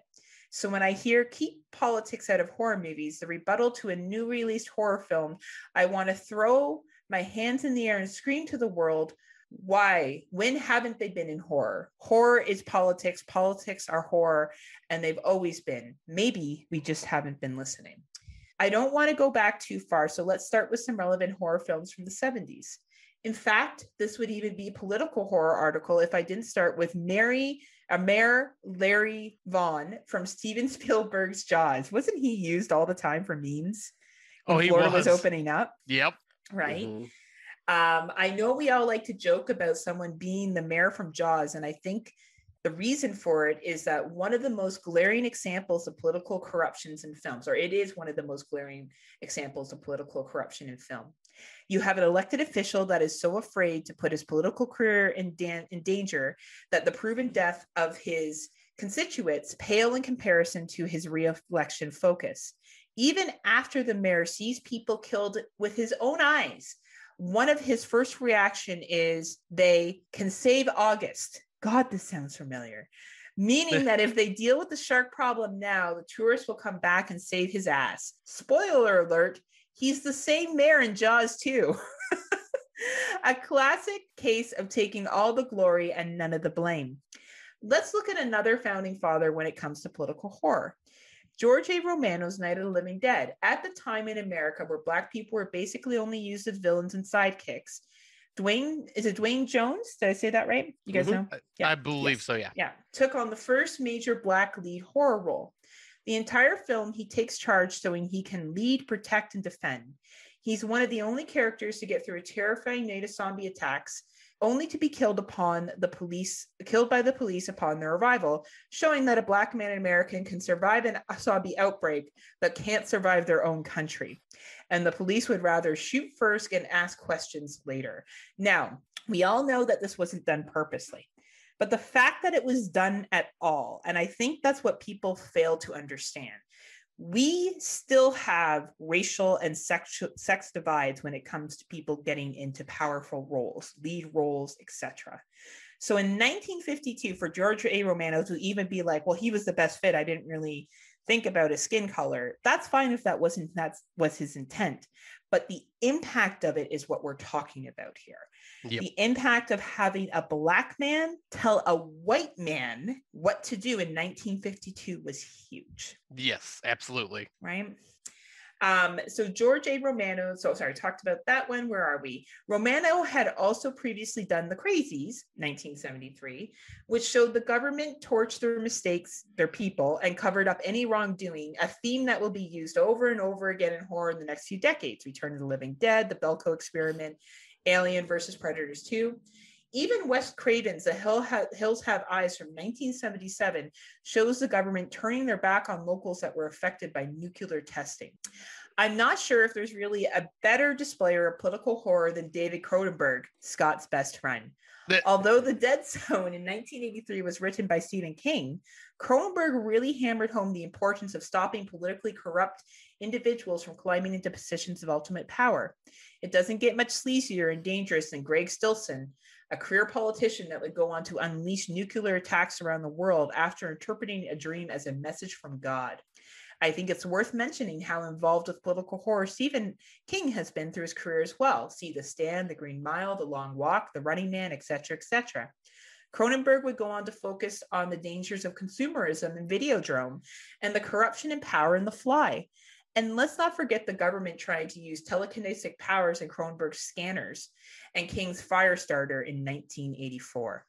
I think the focus top down consumerism is better highlighted in John Carpenter's They Live, which represents how controlled we are by the rich and powerful people in charge. We're going to be getting into that certainly, actually, with one of our films. hmm They control the media, which controls us, and the only way to stop it is to rise up and take a stand against it. I think about this film every time I see a political advertisement on TV or really enter any advertisement. Don't sleep on the stuff either from 1985 Nope. That was another one that I almost picked for our show too. right? The 80s just weren't about politically based horror movies, but the politics blended into the film creations themselves. Actors like Mark Patton and Anthony Perkins were blacklisted in films because of their HIV diagnosis as well as civil unrest created by politicians. Films like Nightmare on Elm Street, Freddy's Revenge was created as an insult to the LGBTQ uh, plus community rather than a celebration of it. By the way, which Scream, by the way, watch Scream Queen on Shudder. I would agree 100%. Yep. And I point to that. I think people have criticized Mark Patton in that film, uh, the documentary, for being too upset. You know, I don't know how I would feel as a gay man in the 1980s and 90s trying to come out. So I'm not going to judge how he felt because that's Nope. not me living that life. Absolutely not. um, in the early 90s, with more civil unrest, came more radical political horror. Candyman 1992 may look like a typical slasher on the outside, but the black the backstory of a black man tortured for simply falling in love with a white woman and turn the other way mentality the police and the city have on the serial murdering of black people in low income areas are focused here. Tales from the Hood shares the black perspective of police brutality, domestic abuse, corrupt politicians, and racism in the prison system. And wow, that fucking movie. Yeah. Um, I'm sure Daeron's listened to our episode where I talked about that, how I thought it was a light film. It wasn't a light film, as I found out. Daeron, you've seen it, I assume. Oh, Tales from the Hood? Yes. Yes, uh, many a time. Um, did you did you know what it was going into it, or did you think it was going to be light and fluffy like me?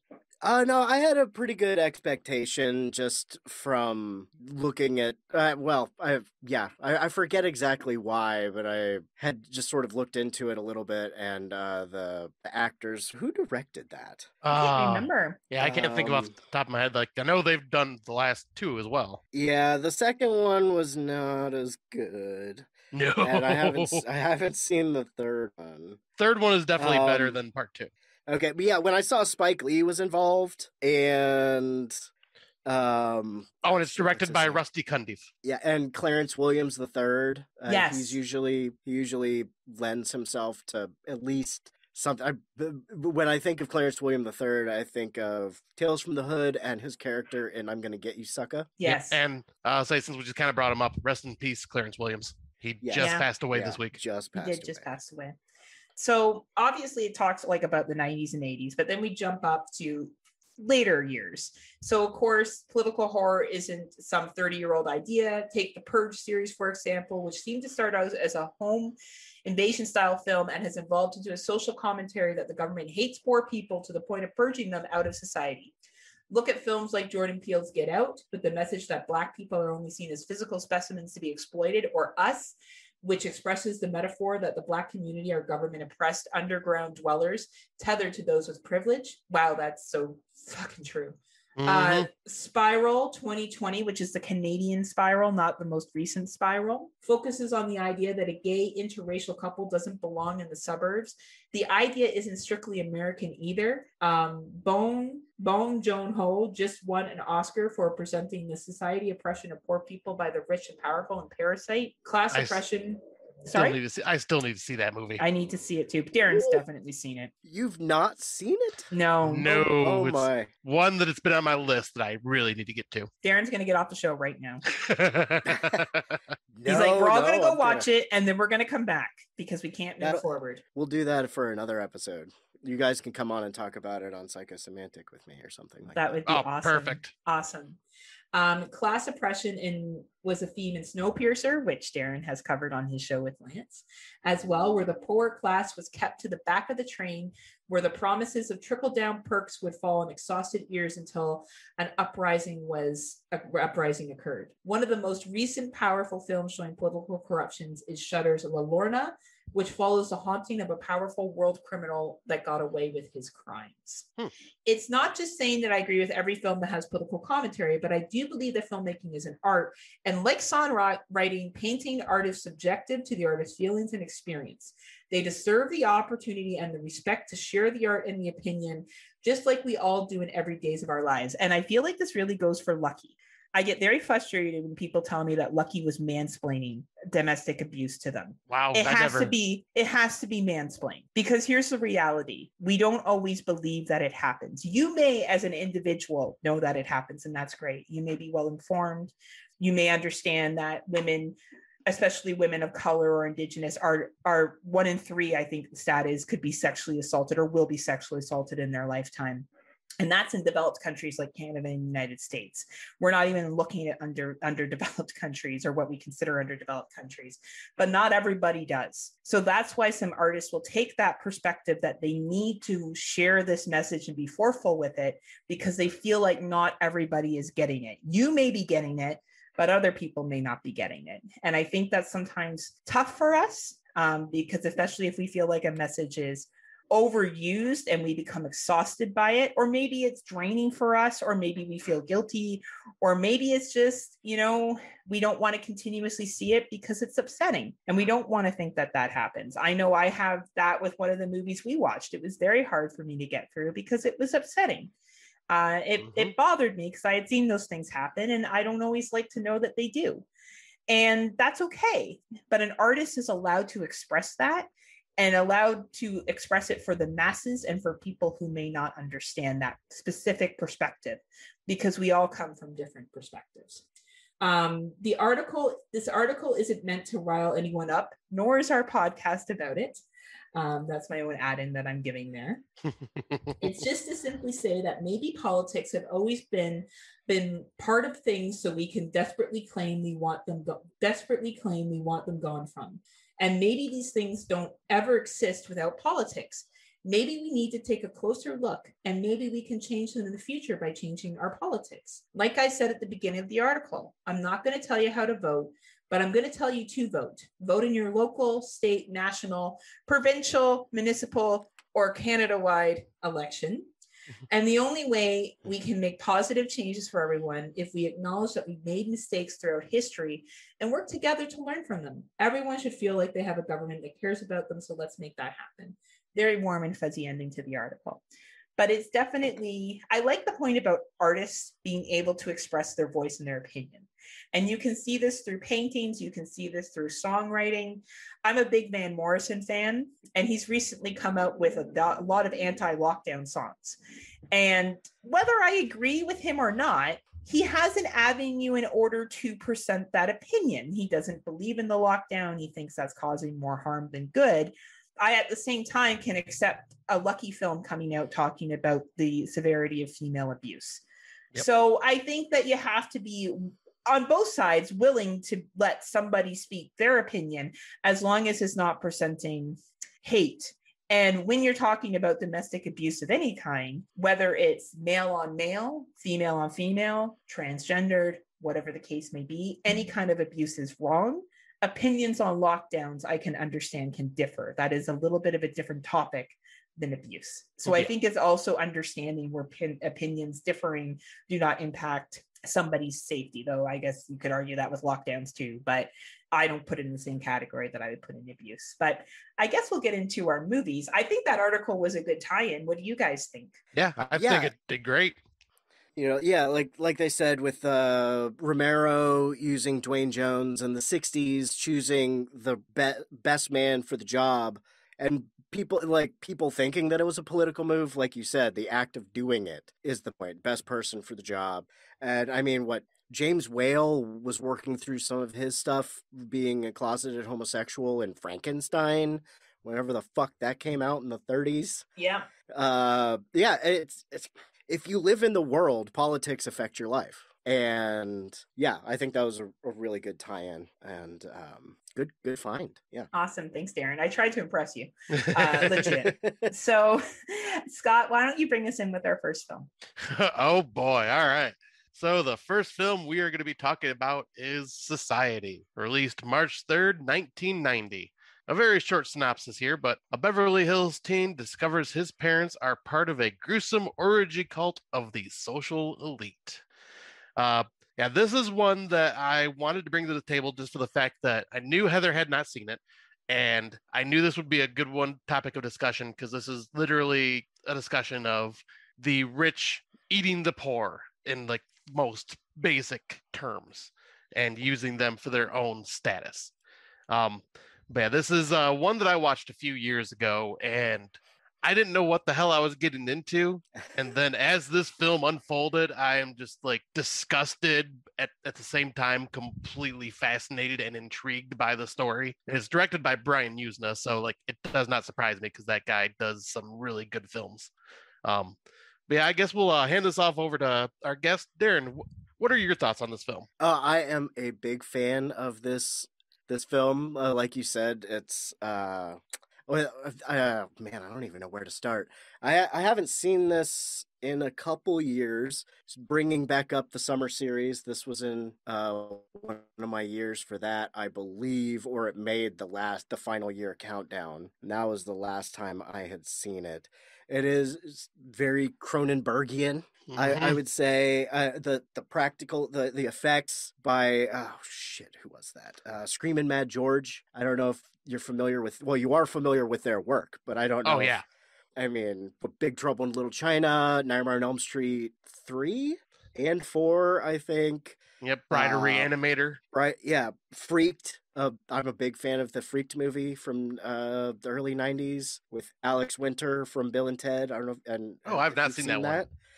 Oh man. Um, and plenty of other things. And yeah, it is just one of those 1980s. There's going to be a uh, especially coming, you know, coming from the '80s. This came out what you said, 19. If it was 1990, so it was made in the 80s technically. Yeah, it was made in the 80s. A lot of commentary about class and uh, the wealth gap. Uh, a couple of our movies are going to talk about that. But yeah, uh, I don't know how far I'm supposed to go into it in this introductory part. Uh, just uh, just uh, say one of your basic thoughts, and I'll say because I, I was kind of curious to see what you thought about this. I was And I was Sorry. glad somebody picked it because I might have picked it if it hadn't have been picked. Nice. So, what do we think the main political themes are uh, that are at play here? Obviously, there's the kind of I would say the major, which is the rich consuming consuming the poor, feeding off the poor. Uh, I felt like there was some sexual stuff in here too. That the coming out party. Yeah. Oh yes, the I out was not familiar with coming out parties till this film. It's I feel like it's a little bit more southern debutante sort of culture, which also feeds into the whole what is it egalitarian? Is that the right word? I think that's the right word to use. Yeah. Uh, yeah, it's very old and traditional and old ways. It feeds into the I, I don't even how what the the people. It's not very clear in the film, and it's a little less clear from the original version in the script. But yeah, it is. It is like the wealthy and the upper class and the elite are almost different species. And Yeah. yeah, what I didn't get, so Billy, throughout the time working with his therapist, he states that he feels like he's adopted, like he doesn't quite fit in with the family, which is why I'm assuming he doesn't have a coming out party because it seems like a coming out party. Oh, the judge will be there. It's this very like elaborate. She has to wear a specific dress. Like it's very like sexist and you dance with the boys and all this other shit. Um, Billy didn't have a coming out party. That was my understanding, right? No. No. It's generally for the girls. And I don't women. know if Okay. back in the day it was like, here she is, what old friend of mine is going to marry her and take her Yeah. off my hands sort of thing. Yes. Yes. To keep the sense. rich bloodline going, basically. Right. Yeah. And well, ownership of women, right? Like if Yeah. a woman was owned by her fa- her father and then given to a man, right? Which is very you know, it's what happened, right? So I found that really interesting. And then the the the orgy that sounded out being sounded there and being sexual and then turned murderous as like kind of a setup. Yeah, the shunting. yeah. I thought it was a really interesting setup. Like i felt like this was trying to be com- like comical at points but oh. also very serious to the class gap. And i believe there was a recession during the 80s in america. Was there not? Yes. right Reaganomics, yeah cutting cutting taxes on the wealthy uh didn't work out that well for the economy. Surprise, surprise. a shock faint on that one, right? But I did find that interesting in how he's working with this doctor who keeps trying to want to provide him medicine and no one's really believing him of what's going on and then there's the one female character that i guess becomes attracted to him and they have that very vivid sex scene yeah. And where he, and he, like, this whole entire time he's also seeing like these weird images, like that he's not Right. sure if he's actually seen or not. Like with her in the sex scene, like they're like Oh yeah. the rich in Clarissa, this. right? Yeah, Clarissa, yes. Clarissa, yeah and the rich in this tend to get a little sweaty and uh like in, in a very gross way especially towards the end but like in the sex scene like you know she's protruding a lot of sweat and then also just like the malformed shape of her body when he looks back at her one time and looks back again and she's back to normal but like yeah i think it's uh her it's like she was just like part of this quote unquote alien race that fell in love almost like a romeo and juliet story where it's like she's fallen in love with him and doesn't want him to be part of the shunting I feel like she con- tries to control him at first. Like she's like, I'm better than you, like the whole rich class, right? To the lower class kind of thing. Uh, even when he shows up at that party and he makes a scene with Ted, who's supposed to be the like the rich guy in school or like the most popular guy, and his girlfriend's like Billy's girlfriend super upset that they haven't been invited to this party. Like I felt like it did talk a lot about caste system. And then the consumption piece. I guess I'm kind of jumping ahead because I feel like everything leads up to the consuming and Yeah. obviously a lot of money went into the special effects behind this too there's a Oh, yeah. whole like drawn out of, of people morphing very cronenbergish uh, made my stomach turn dramatically. I'll be honest. Midway it's really through, gross. and I I sat through fucking Solo, and I was like, this is like different than Solo, obviously, but it was kind of it was kind of gross. Like it got gross for me. Uh, and I just got that it was we're better than you. We will consume everything, take the lifeblood out of it so we can be successful, which is what capitalism is, you know, based upon is this concept that we can all get to that higher level, but we we can't.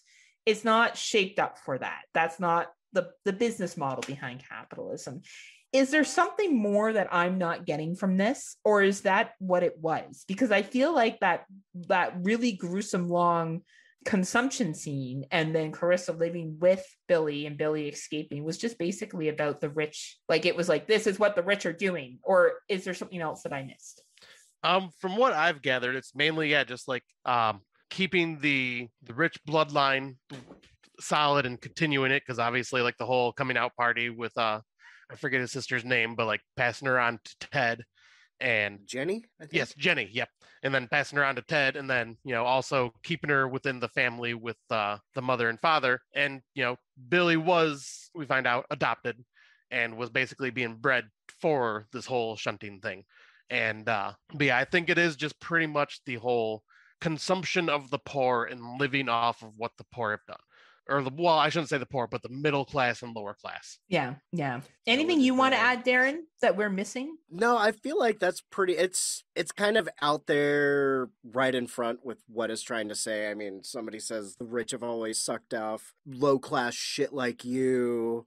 Uh we're like a different breed. Everything's getting together to they they do a lot of eugenics talk, which you would find especially in the older upper class uh coming out party sort of southern tradition or whatever this this came from and it's it's satire on purpose so it kind of is upfront and obvious about it because the ludicrous the i mean uh, the the shunting scene is partially inspired by uh salvador dali painting speaking of Oh, really? artists. yeah Yeah, and uh, yeah, I, I think they they backed a little bit away from just being like, well, they're aliens, which isn't. I mean, they I think they say, actually say they're not aliens, but I think th- th- talking about how. Yeah, I, I I think it's it's pretty obvious with what it's trying to say, and I think Yuzna didn't shy away from that. Uh, he likes to Yeah. just be like, "Yeah, that's what I'm fucking saying," you know, sort of right sort of thing. And I was just reading some notes here, and it did very well in Europe. It didn't do so well in the United States. It wasn't received Shocking. well. And I wonder if it's because, and and this is jumping into another side note. I I used to really enjoy the show Shark Tank more because I like hearing what people have innovated. But the line that I absolutely fucking hate is American Dream. I equally hate the line Canadian Dream because I think for majority of people it is unattainable expectations because of Mhm. the capitalist system set up. And I have benefited from capitalism very much so. I am a white, cis, middle class woman. Okay. Like I am straight. I am boring as white bread. I am, and I have a middle class income. I was raised in middle class income.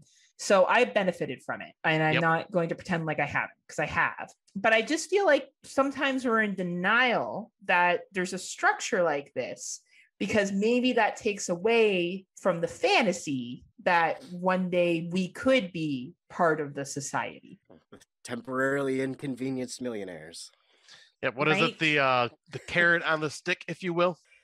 And I feel like this movie showed how, you know, people wanted to be part of the society. The society had these beautiful parties, they had nice cars, they had this, they had that, but it's you couldn't become part of the society unless you were part of that specific breed. Yep. Like it's it's mm-hmm. an inkept situation. And I just wonder if it didn't do well in the United States because we still want to keep envisioning that one day we will be part of that society. And people weren't ready to hear this message. I don't know.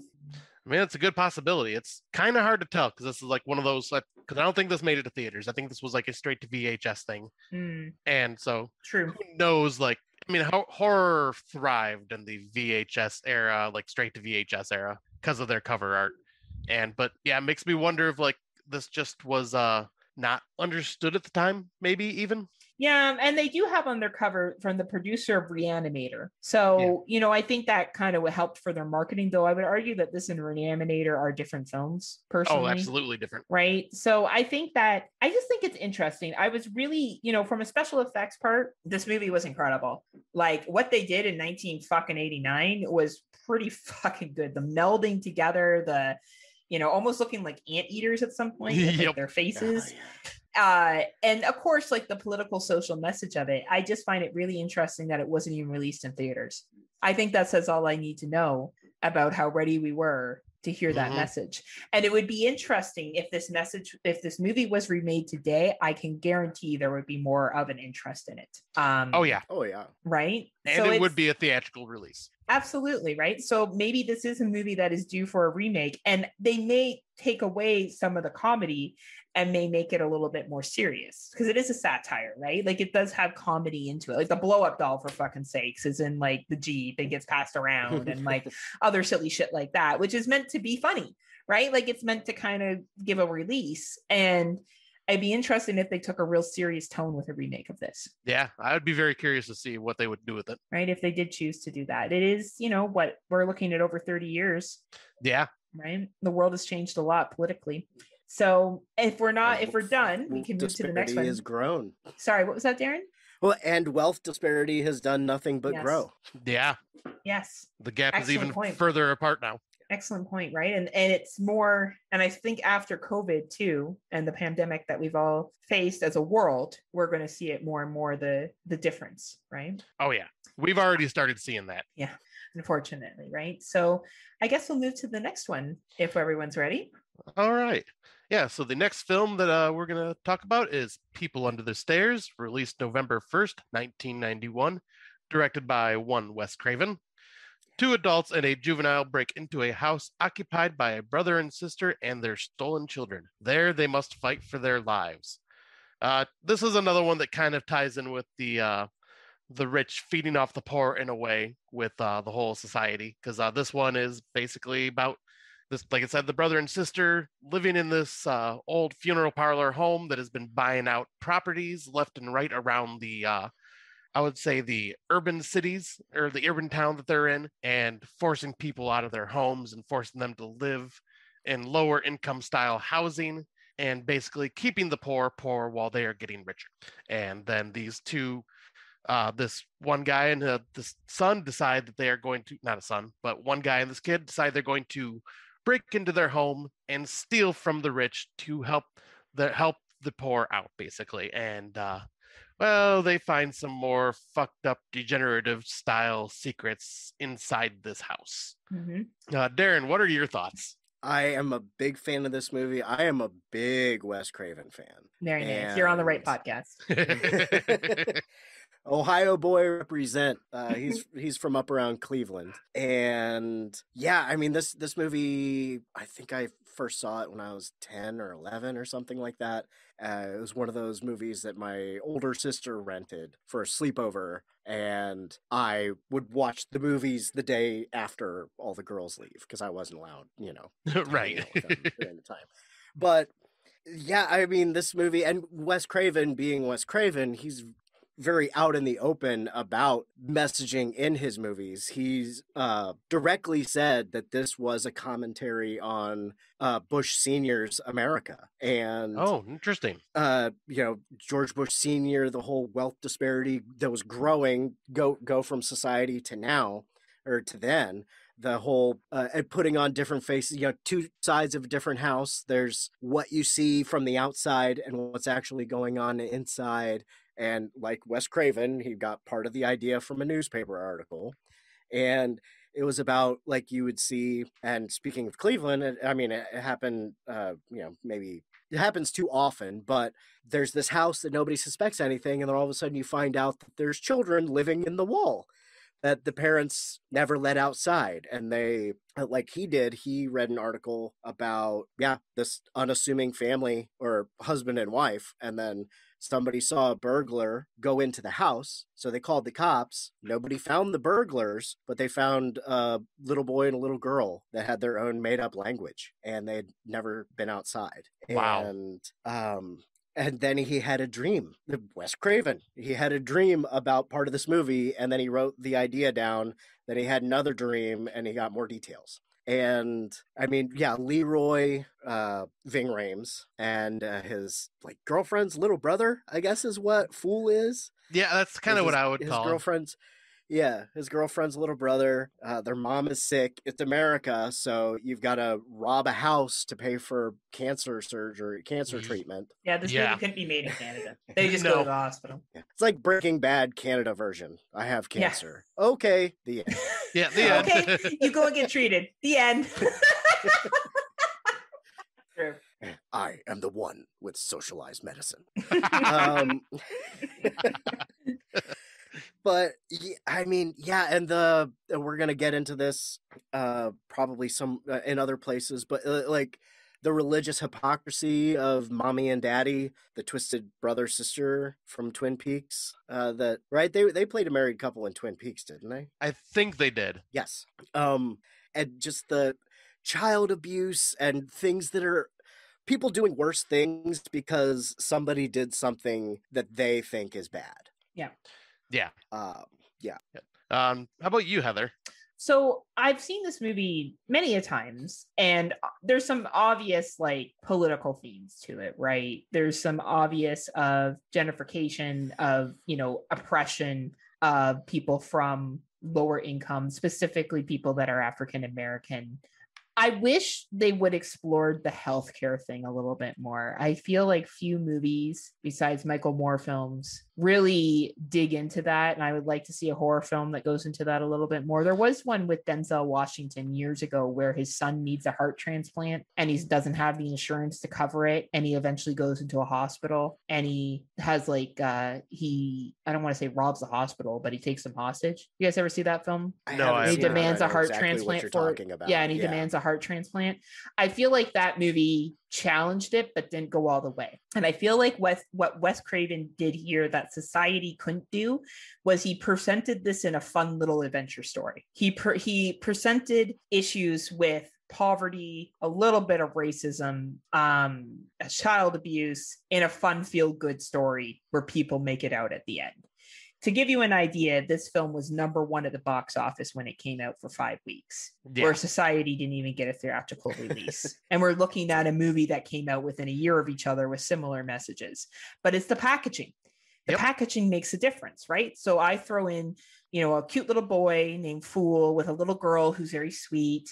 And you know these two pieces of shit that are incest. So already we're like incest. Oh, gross, gross, yuck, yuck, yuck and they're assholes and we're like oh and they're assholes too right? Like you're getting angry and angrier at them because they're easy to hate instead of you know people that have a lifestyle that you wish you had and that you've been told if you just work hard enough you'll get it Yeah. right? So i think that that's interesting is that these movies had very different mess like similar messages but were just packaged differently.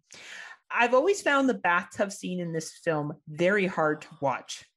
It really upsets me partly because that shit is happens and child abuse in general is very hard for me to observe Yeah. in films. Um, you know, and not like trying to be like, oh, it's hard for me, and if it's not hard for someone else, like I just that shit happens. Like Wes Craven always takes a fraction of something that he's experienced, and you know, kids are thrown in the scalding hot bathwater because they didn't do or say what they were supposed to. And I could see people taking children and cutting out their tongues and doing shit like that. And I always found that part of the movie the hardest message for me to handle. Yeah, especially the whole fact that you know all that torture, and then the, also the cutting off of the kids' ears, and like Mhm. they're being locked in a freaking cell underneath the stairs, hence the people under the stairs, and being fed like human flesh and just whatever scraps these fucked up psychos decide to give them, and it's just like all because uh I'm not like I wasn't sure if these were just like people that have ever broken into the house before or people they decided just to randomly kidnap. Like I don't remember I don't think that was ever made clear. Like, what do you mean? Like, oh, they they killed like water meter reader people and shit. Which how would the company not follow up on that? Like, I'm sorry, Right. like that there was like there was some, but that's not the main part of the movie. That's more of a review piece. But like, if I sent someone out as a company out a meter reader and they never came back, I would probably be looking into that. Like, especially if it happened in a specific neighborhood. Just saying um my beef with this movie and i think that it exposes capitalism very well but i think it and maybe because it also came out in 1991 it skated over other issues that could have gone deeper so if, for example fool wants to be a doctor Yeah. now we know how difficult it is i work in a post-secondary institution i can tell you how difficult it is for kids who don't come from privilege to become a doctor Oh yeah. it's fucking hard for multiple reasons. You know, coming back to resources, educational access, blah, blah, blah, blah, blah. I wish they had examined that a little bit more. You know, like I felt like he's like, I want to be a doctor. And the guy's like, You'll never be a doctor. Haha. I'm like, I would have loved to see maybe more of like, you know, Fool getting down to being like, I'm going to take my studies really seriously. And, you know, this has taught me that I really like it doesn't have to be like a speech or anything, but I just, I, I found that line was thrown in there and then nothing was done with it in that social issue. And Yeah, maybe well- because it was 1991, right? I mean, I mean, kind of, like Leroy did kind of say when he like like kind of mocked fool, like he did say like, yeah, not like we're basically like what he said was we're too, you're too poor to even become a doctor. Like yeah. So like it, that kind of hints at it, but yeah, it could have been uh, gone into it a lot more. like personally for me doesn't make it a bad movie like i also accept that it's 1991 and you're not going to go into that you're you're more or less focusing on the fact like we're tearing down these poor housing shitty buildings that aren't maintained anyway which happens to this day i used to work in employment services in the community counseling and i had uh, newcomers to canada that lived in buildings that, that were infested with fucking rats so you know that happens now and you know, I think that's great that they, you know, address that. So I understand like there were bigger issues. There's just little things that I, yet again, Oh, yeah. if a remake happened now, I would be interested to see how they explored other issues. Yeah, like that makes me wonder if they would explore more of the inner city stuff that Yeah. they're hinting at, and like a lot like more, and more of of the, the inner city issues. racism and Yeah. and like classism and stuff. But I, I think still for 1991, it was pretty good. Daeron, did you want to add something about how you felt they explored the issues? Did you think they were explored well? Oh, well, you know, I I will. I love a heavy-handed political movie, so I'm always fine for more. I I think it could have been gone into uh, a little bit further, like you said, discussing the why. I mean, a lot of crime, especially a lot of crime like robbery, is necessity, not out of joy, and. Uh, it, it could have discussed a little bit and they do talk a little bit about how i mean just just a little bit of what creepy incest couple were living above like dragons was enough to change Fool's life Yeah. pretty much forever. Yeah, Yeah. And uh, it, it would have been interesting to see what happened because, you know, at the end, spoiler alert, you see a lot of this people under the stairs just sort of wandering away.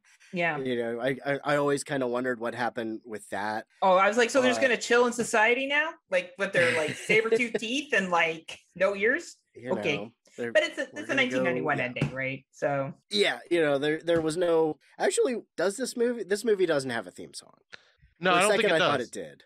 Uh, but yeah, but traditional late '80s, early '90s, there would be a rap song at the end that tells the story of the movie. Yep. And that didn't happen, but it's not like Wes Craven did that typically. But yeah, I, I feel like he's still exploring his his messaging. Uh, you know that you see throughout his good and bad films. There's always that social message, and that's I mean that's part of his life. I mean, he grew up in uh, oppressive religion. I don't think I think he Mm. said that he didn't see a movie until he was in college or some shit. Oh Wow. wow. Um or at least regularly didn't see movies. Like TV and movies wasn't a thing in his house. And you know, he went to a religious college. He got in trouble as the editor of the school newspaper for allowing an article to be printed that supported interracial dating or something like that. And so he's always been bumping up against shittiness in society and it was it was really cool to see that and it- it's kind of fun to go back and visit it because I feel like when I was a kid I didn't think about all of these issues in the movie. Yeah. Nope. I, just didn't even remember, catch them. yeah, scary dude in his leather daddy outfit, Yeah. and chewing on bodies in the basement. I remember the child abuse thing was always something that bothered me that someone would hurt kids like that. Mhm. Um, you know, and I think that's definitely a theme that plays out. The belt beating or the indicated belt beating that's about to occur is very hard to watch. And I I did appreciate the part where the cops come and she has this tea set up and they're like, oh, you know, we had this report of child abuse and how it's basically disregarded because of how they Yeah. present themselves.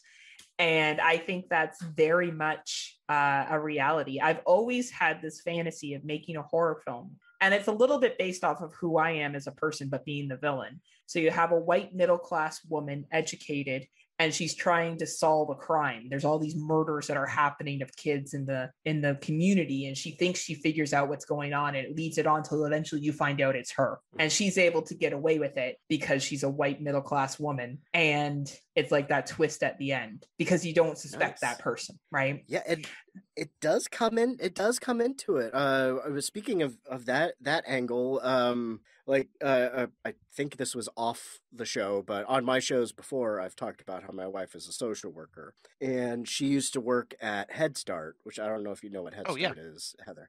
But No, I don't. yeah, Scott, you do. It's it's like um, income assistance, uh, early childhood, preschool education type stuff. I believe it's the the policy was if you were 15 minutes late picking up your child, you they were supposed to call child protective services. But the other day, we were about a half hour late picking up our son from school. That he goes to aftercare, so it's a lot of wiggle room. Yep. They just called us Yep. and said, "Hey, uh, just making sure that somebody's coming to pick him up." It's like, yeah, yeah.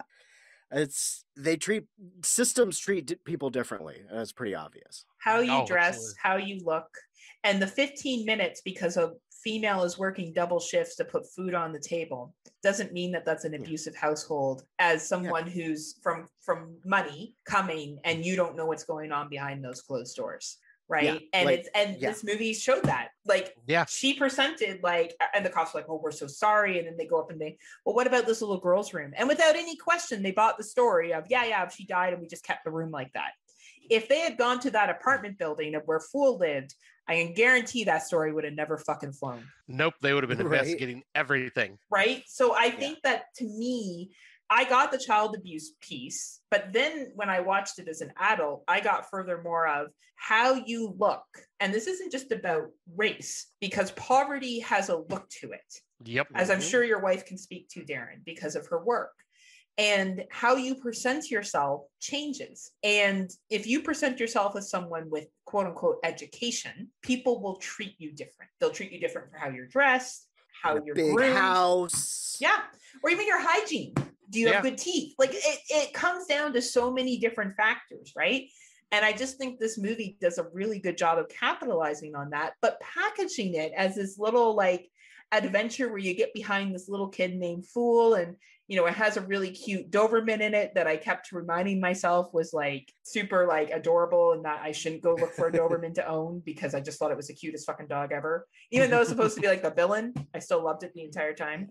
Um, like I just think that that's he was smart how he presented his messages. He presented them in a way that people would probably get but not be overwhelmed by. Not that I think that it's not good to have politically heavy-handed films, but I think the fact that this did so well shows us that sometimes when it comes to getting viewership, heavy-handed is not the way to go. Yeah. Yeah. Right? This was the first movie that he ever had Final Cut on. really, Oh, really? So, yeah. Interesting. interesting. So he told the story in the way he wanted to. Now he he did acknowledge that he's like, yeah, I'm a white guy, and he's like, Yeah. so I tried to get uh fill fill my crew with uh people from all walks of life and diff- different uh different walks of uh different paths and get input from like we're gonna talk a little bit about and I think what the next movie is gonna be if we're going chronologically Yes. which it feels like. Yeah. Um, a director trusting his cast and crew to sort of inform them on a life that they've never lived in the making of the movie. So he put a lot of trust in his actors to tell him if he was telling them to do something that was just like, "Mm-mm, no. I... You know, he, he tried to foster that sort of environment in the film. Now, of course, thinking that you're doing something and actually doing it, I, I haven't heard anybody say that he didn't do that. But Mhm. this is Wes Craven talking about the creation of the movie. yeah. Right. right and i i think he i would hope that he did and i think the reception of it yet again just shows the the ability that he had to storytell and pull in politics i actually think this is a really good if you don't want to ruffle feathers too much and you want to make a message this is a great example of a formula to follow in order to make a horror film that's politically minded i feel the purge did that too i know as the purge series goes on people find it more political especially election year which Yeah. is you know all That's about one of my favorites of the series. right? yeah. And one of my favorites too. Like I like uh, more politics, the better for me. It just fuels my angry Heather fire. But for some people, that doesn't work for them, right? And and there is, you know, art being subjective. So I do think this film did a good job in 1991 um, of presenting the issues that it presented. And there's still that bath scene, as I said earlier, it still gets to me. It still The upsets me. steam coming out of that Yeah. tub. Oh, yeah. Oh. And then just her screams. Oh. right and the kids like seeing what's happened to them um yeah that's just that's just a real personal challenge for me when i watch these films Yeah, I I can see that. It's been a few years since I had rewatched this, but I'm glad I glad I chose it for this one because yeah, there was a lot to un, unwrap with it. well it's interesting that you chose two films so close together in the early 90s and then we chose two films so close together in the late 2010s isms or 10s or whatever Yeah, uh, closer to 2020 so let's move into our our 2018 film that we're going to talk about All right, so this is the one that our good friend Daeron picked. Um, boy, is this a doozy of a film. Uh, yep So what we're talking about is Assassination Nation, released September 21st in 2018. In Salem, USA, four friends fight to survive when a malicious hacker exposes everyone's secrets on the internet and causes their town to descend into chaos. That is uh, pretty much a really good synopsis for this because this one is pretty much showing like the showing everybody in this town their dirty little secrets or quote unquote dirty little secrets where some get just blown out of proportion. Um, but man, talk about like having like so many different social commentary, political issues just wrapped into one freaking film. This is Mhm. a Daeron pick for sure. hmm this has so many things that can just be discussed just from this like just from this one film. Um, but Daeron, since you picked this, I gotta know like what are your thoughts? I well, I picked it because I at least like it a little bit, but I almost slept on this movie, like like we said in our our thread, and I can't even remember. I think it was the one of the posters. I saw one of the posters. The commercial. I don't really remember the trailer. I don't always go after trailers, but I don't actively avoid trailers Right. um i was like oh, okay that's probably something cool but uh, what 2018 in september i was mostly chasing around uh, a three-year-old so i wasn't getting out to the movies all the time but as soon as it, it was available on streaming one of those nights at you know it was midnight one o'clock something like that i sat down threw it on and was like fuck Yeah. And That's- it's just Good reaction right there. yeah, it, it just ticks so many boxes for me. There's, you know, parallels with the Salem witch trials. Mhm. There's, you know, it's it's like a music video, political everything. And uh, yeah, I mean, uh, it's strong female leads. I like that. Uh, cool music. I like that. Shitty politicians getting things happen to them. You know, especially like uh, I mean, the the one dude. I, this is probably one that fewer people have seen, so I'm trying to be pretty vague, and I'm really looking forward to hearing from the first time watcher. So, I mean, this this movie deals with the male gaze, and you could talk about that within the film and coming from a male writer director uh, who did uh, talk with his four female leads pretty much constantly about like is this is this accurate? Is this close? Is this something that you would say and i don't he said he spent a lot of time seeing what teenage girls talked about on the internet which sounds kind of creepy but hopefully he did it in a room with other researchers and it wasn't just i'm sam levinson looking around on the internet right. Um, uh, the, the, the narration, the allusions to all sorts of shit going on in modern politics, but like I said, also talking about Salem witch trials, hysteria, you know, things that people keep secret aren't necessarily because there's anything to be ashamed with. Uh, like Lily's dealing with female sexuality, you know, talking about just because a person is naked doesn't make it sexual unless you make it sexual, Yes. per se. Mhm. And I mean, the parental relationships, there's all the focus on her and all the horrible shit she's done. And then the creepy fucking brother talking about all sorts of weird shit, like talking about people getting eaten by animals at the dinner table. And there's like, oh, yeah, okay, well, I just, I didn't catch that. Yeah, Boys will be boys type attitude. Yeah, uh, you know the the ten the quote the ten percent of people in the world are cruel, ten percent are merciful, and the other eighty percent can be swayed in either direction. Stands out to me every time I watch it because a lot of people just get whipped up into following the loudest voice in the room. There's like yeah yeah you know his, the the way hysteria builds and yeah there's i mean this movie is really really really realistic or you know uh i'm trying to think of a better word but it's very realistic and ludicrous at the same time but it tells of such a real story. And uh i mean yeah okay. I'm trying to think uh, uh the gore the, the some of those scenes are like especially this this was one I thought of at first when it was time to come up with a movie. I was thinking about The Purge, but then when I listened to your episode where you said you might choose The Purge, but then nobody chose The Purge, I figured I would wait and not pick it for this time because it wasn't chosen for a reason. And then this one was Are there going to be the horror cops writing us tickets for it's not a horror movie? right. and And then I realized you guys wouldn't care, and that's what matters. So, Yeah. we don't give two fucks. uh, yeah, uh, and, and it seemed like you know, yeah, I almost chose Videodrome, but we were already doing Society, which sort of gets the body horror thing about elites doing things to lower class people. And yeah, so I I was stoked to talk about this movie. And Heather, I did not know this was a first time watch for you. Yeah. And I also have not talked about this movie with a woman. And yeah. I would really like to hear what you've got to say.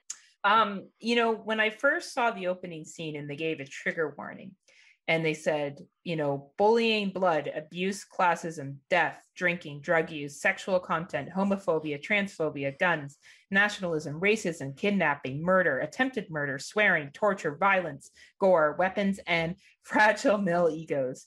Um, I thought to myself, I'm like, this movie is coming in with something to say. Yeah. And uh, I I was overwhelmed with the realism of this film. And this film is real. Make no fucking differences about this. This is realistic conversations that occur, whether you want to believe it or not. hmm Um, it presented everyone in a real to life 17, 18 year old mentality um, where not everybody is a quote unquote bad person, but we do struggle sometimes with making the right choices or choices that are ethical.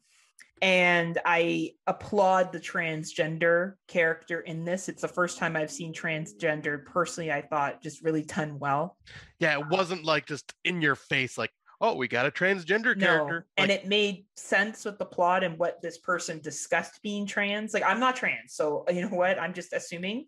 So I, you know, get that as a disclaimer. But I really enjoyed their interactions with the other characters. Um, and you know, there's some scenes where the guys and the and the chicks are just hanging out, smoking pot, and they talk about eating pussy and how the one girl's like, the her boyfriend doesn't eat pussy, and you know, they have a fight about it. About he's like, How would you embarrass me like that? You know, and she's like, Well, if I didn't suck your dick, you would say something. He's like, No, I wouldn't. I'm like, Mhm. Yeah, he would, right? Totally. Like, and Yeah.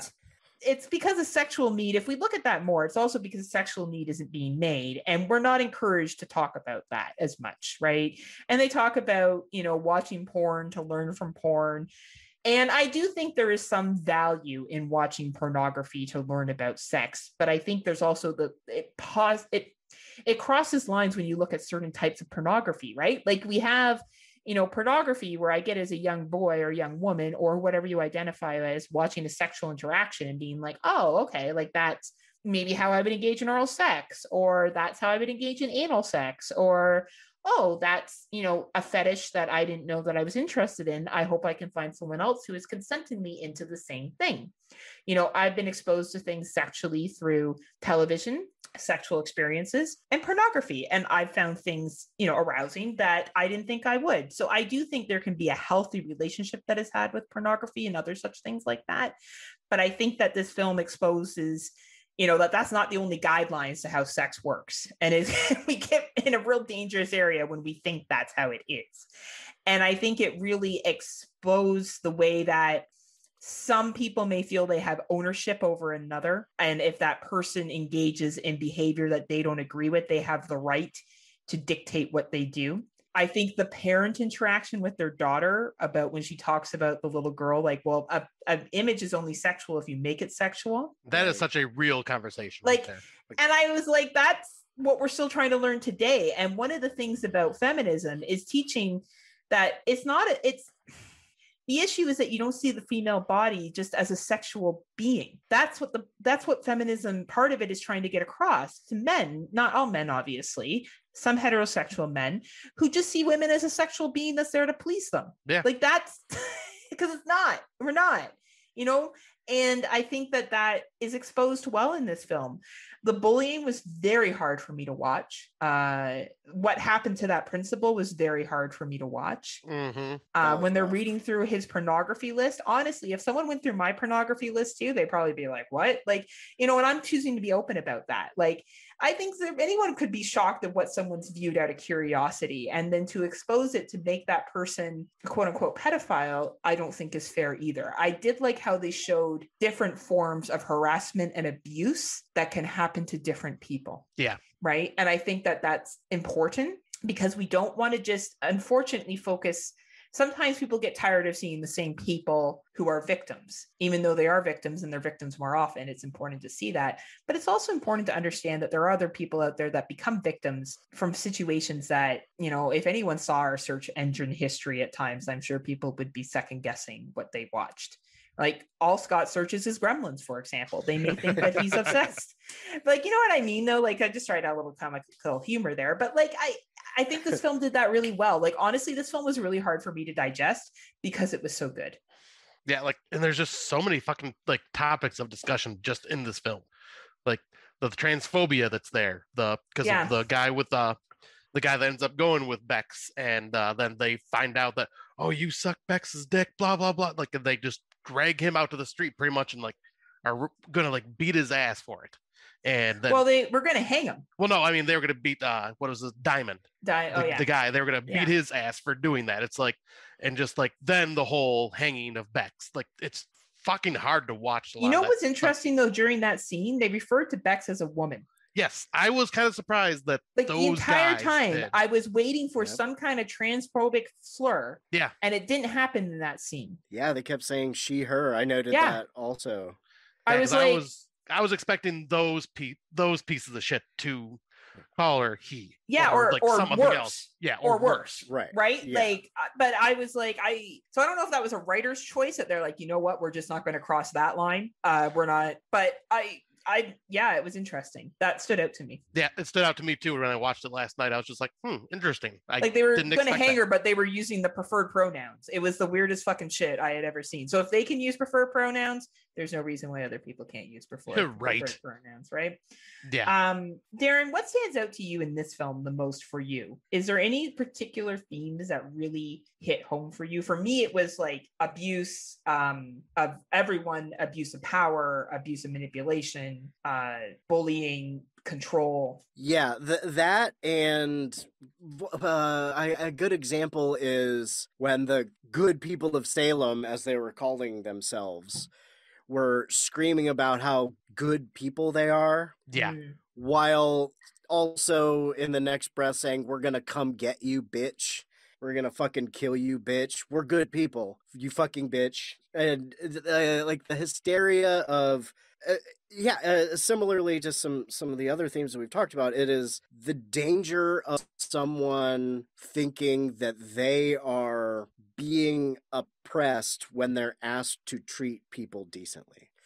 Yeah. and the lack of empathy. I think uh, o- overall, through the whole movie, one of the bigger themes is the lack of empathy. You know, there's the anti LGBTQIA politician that Mhm. should have more reason to be empathic because, like many anti LGBTQ crusaders, they've got a secret that they're hiding. Yep. Mhm. There's Mhm. the lack of empathy when the uh, principal's stuff is leaked and people are doing dramatic readings of his text thread with his for her miscarriage.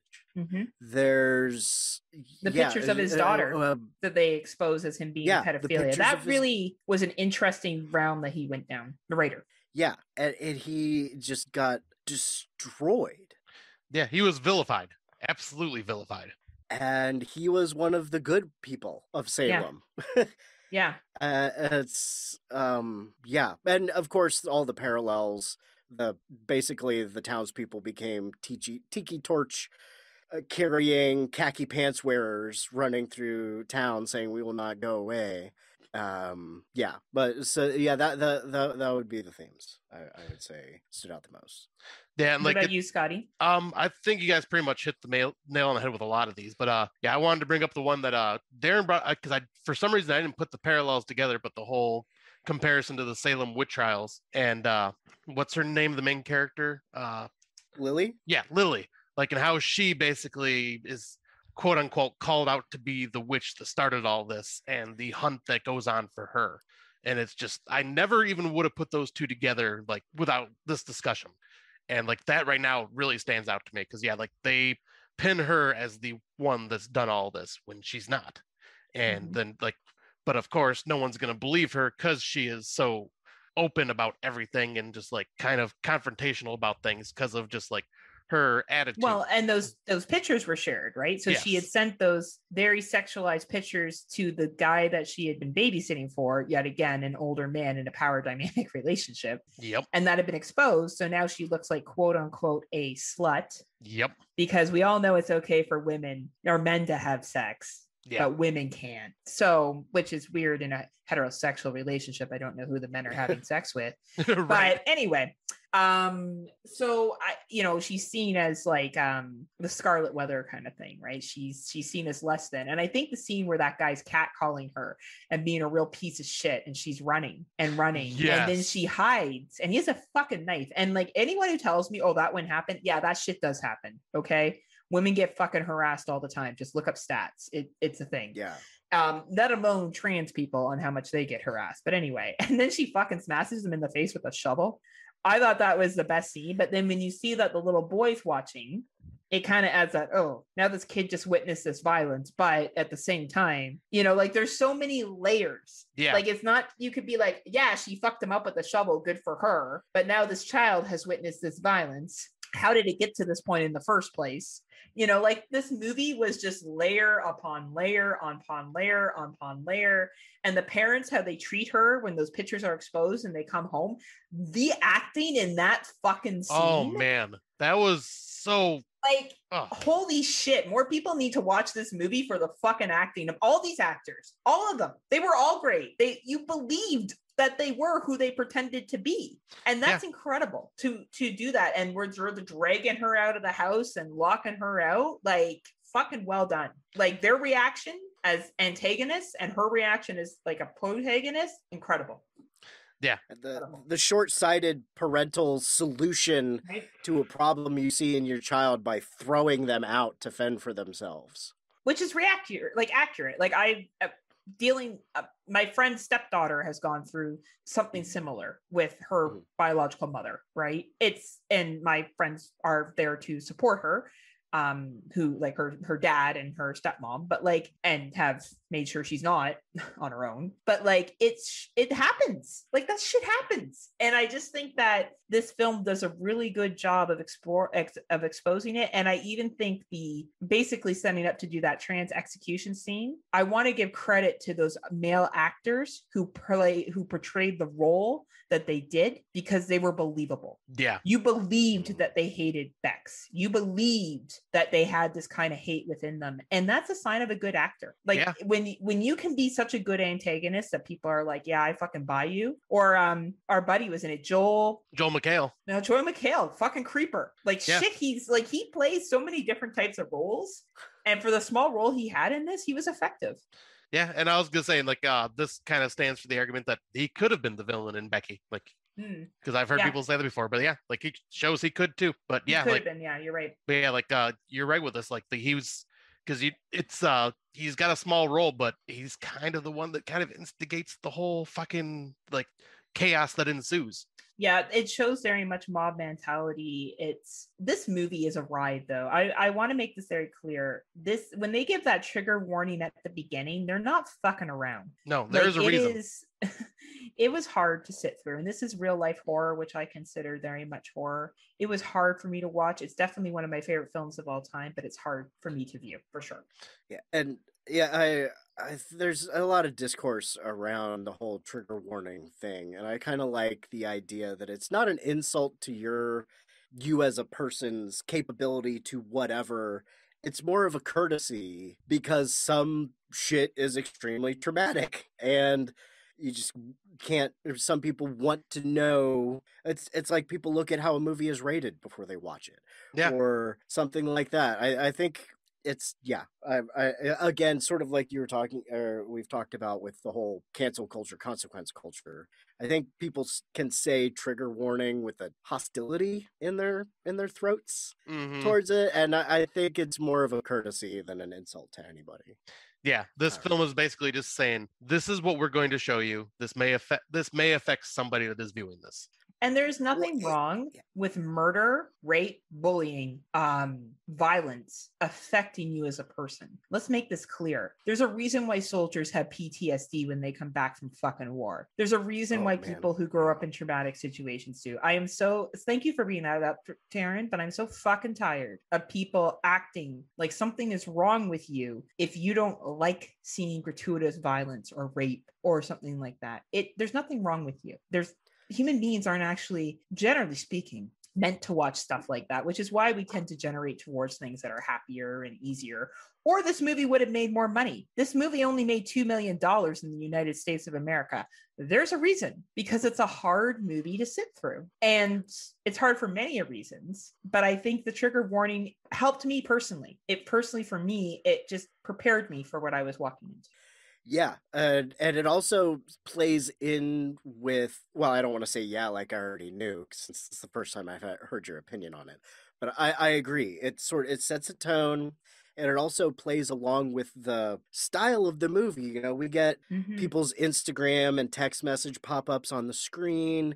There's the uh, after her leak. There's all the you got a friend request, friend request, friend request, comment, comment, comment.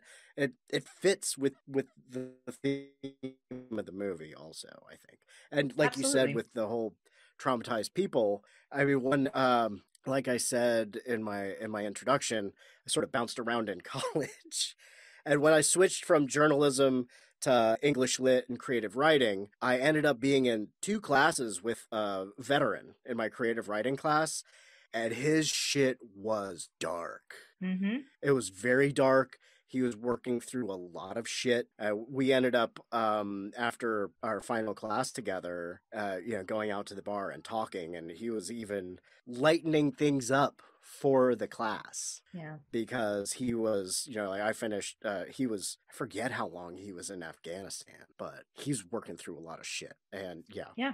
Um, so yeah, and people have those experiences right and you can have traumatic experiences living in a in a mediocre like what would other would people would see as a mediocre life which is what these girls kind of had you know before everything happened with the hack and all this other stuff. And i love at the end that it's the brother and we give spoilers in this so everyone knows that listens to our podcast. And i think it's just interesting that he says i did it for the lo like the lols Yeah. the walls. right? Yeah. Um, it just puts a nice little bow on top, and then the the the Salem High School marching band performing "We Can't Stop" down the street, littered with dead and bodies and destroyed vehicles. Like this movie was like basically a love letter to me. And Daeron, you may not know what my opinion was going to be, but you had a pretty damn good idea through the conversations that we've had.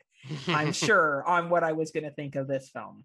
Yeah, I I felt confident in picking it. I know I joked about uh you not letting me be on the show after picking it, but I knew that you also yeah, from from conversations you will confront uncomfortable things as long as it serves a purpose in the story. Absolutely. You know, gratuitous uncomfortable. And and that's another thing that we're I know we're not wrapping up. We still got another movie to talk about, but that was another thing that I was thinking about with some of the queasiness people have about socio-political messages in movies, especially amongst horror fans, Mhm. because you will always hear, "Oh man, that movie made me feel like shit. I love it."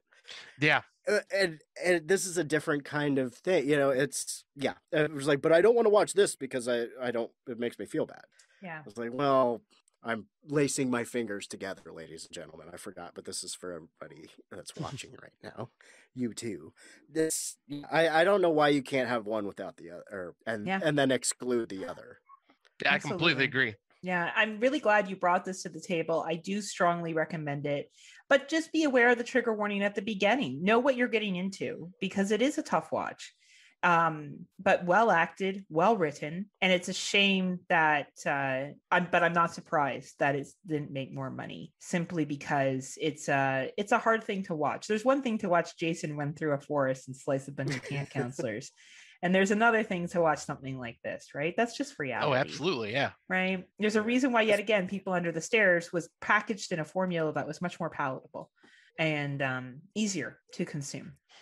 especially with a lot of this being based on people's online lives versus real Mhm. life lives and the connect the connections between them but I, I know there's a part where she's where lily says you want to try saying that in real life or something like that or you want to uh, it was, oh, fuck i can't remember anyway there there are a lot of nods to well that's online it, it's not the same as real life but how you treat somebody online represents who you are, even if you pretend that it doesn't. Yep. Absolutely. Thank you so much for bringing this to the table, Daeron. You did not disappoint.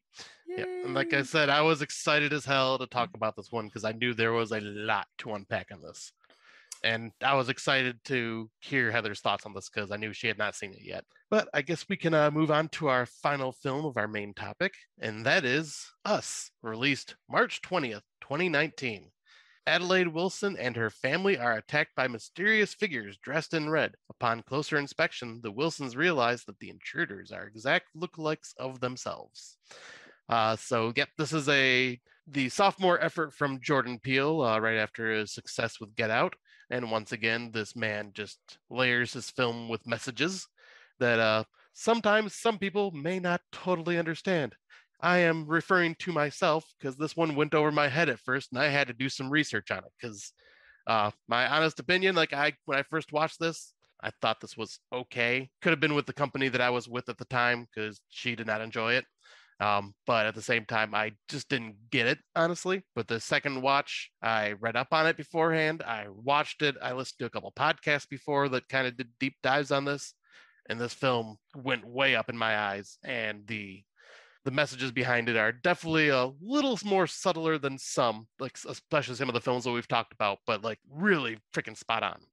Um, but yeah, once again, like I've been doing, I'll pass this over to Daeron. Uh, what are your thoughts on us? Yeah, I saw, I missed this in the theater, but I saw a Get Out in the theater twice. Nice. I, I was immediately a Jordan Peele fan. I think comedians lend themselves well to horror because a lot of it is timing and storytelling and the the path you know uh, there's there's telling the story and horror needs well doesn't need to have moments of levity to give you a break give you a, a time to breathe or anything like that but yeah with, with us Oh man, yeah, I know. I know this is a big movie for Heather, so I'm I'm trying not to overstep anything that she would say better than I. But You go I- I ahead, don't know. I, like as you see, I'm a big Alice in Wonder. Well, you might not be able to see because it's dark in my little cave, but I'm a big Alice in Wonderland fan. I like all the allusions to that in the film. There, I mean, there's the fucking rabbits. There's the going down the hole.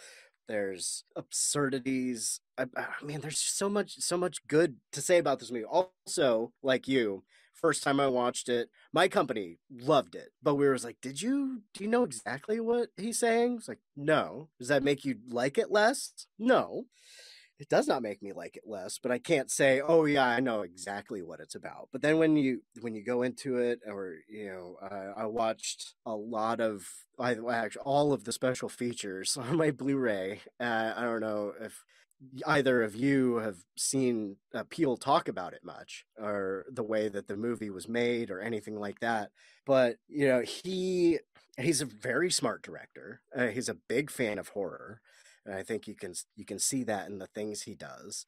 I mean, he was talking about uh, you know a tale of two sisters, uh, Nightmare on Elm Street, and Alien being some movies that he was thinking about being heavily influenced by influenced by in his his horror making and his obsession with doppelgangers and how doppelgangers have existed through folklore forever as often yeah. a sign of a bad omen or just expla- uh, exploring the duality of humans and uh, with us i mean when there's an us there's a them and just all these little things ignoring ignoring your privilege or not noticing your privilege where um one thing that he said was a lot of people like to think that everything they have they deserve and that's not always the case you know sometimes people suffer for someone else to live the cushy vacation house life or the uh, stuff like the hands across america theme that that's in the movie. I don't i was too young to really remember that but Same. it is it does i think speak to another part of the story that he's trying to tell which is a lot of people not everybody uh, so i don't want to just say people but a lot of people like to think that big dramatic symbolic gestures help more than actually doing something to help people oh yeah and i, I kind of feel like that's a little bit of what Hands Across America represents in the film because it was what supposed to battle world hunger somehow. Uh, it, yeah, something like that. And just the the play, eh, eh, uh, you know, they they did each character did their own parts twice, which is impressive um, as shit. Lupita Nyong'o, yep, if that's how you say her last name. Uh, she always did her dominant whichever character of hers was dominating the scene first that way she could react to that already having been there. And whenever she was red she was red no matter if the camera was on or not. Uh, there are a lot of deleted there's a lot of deleted footage of her sitting around waiting for them to shoot and she's just crying or you know it was fascinating wow. to see the dedication that the characters put into playing their characters. And i mean you could tell that they had fun making it but it's fucking terrifying movie. Yeah. And uh, like the the daughter i forget what the daughter's doppelganger character was but that oh she was frightening. That smile? Yes. Oh yeah, that smile and, gave me the creeps. And uh, playing off the mirrors and uh, you know the just all the little nitpicky things or not nitpicky attentions to detail like the the dance that she did the ba- the ballet that she did is supposed to be two people dancing together but she did it alone. Oh. But she didn't do it alone because her tethered was doing it right. underground while she was doing it on stage and just all this fucking shit. So always happy to talk about this movie uh, every time i've watched it i've noticed something different. Yeah like the like i also enjoy just like the uh symbology that's given throughout this movie of like the parallels the 1111 the frisbee landing perfectly in the circle and the on the beach blanket and just like little nods like that too just to kind of represent like the parallel lives that are like being lived. And like i i uh i also understand if i remember correctly he was saying uh saying like this film was also kind of a uh, nod to, uh, or not a nod, but like a poke at us Americans for the fear of the invader Yeah. and like just uh, other people coming into our world. And yeah, I can totally see that.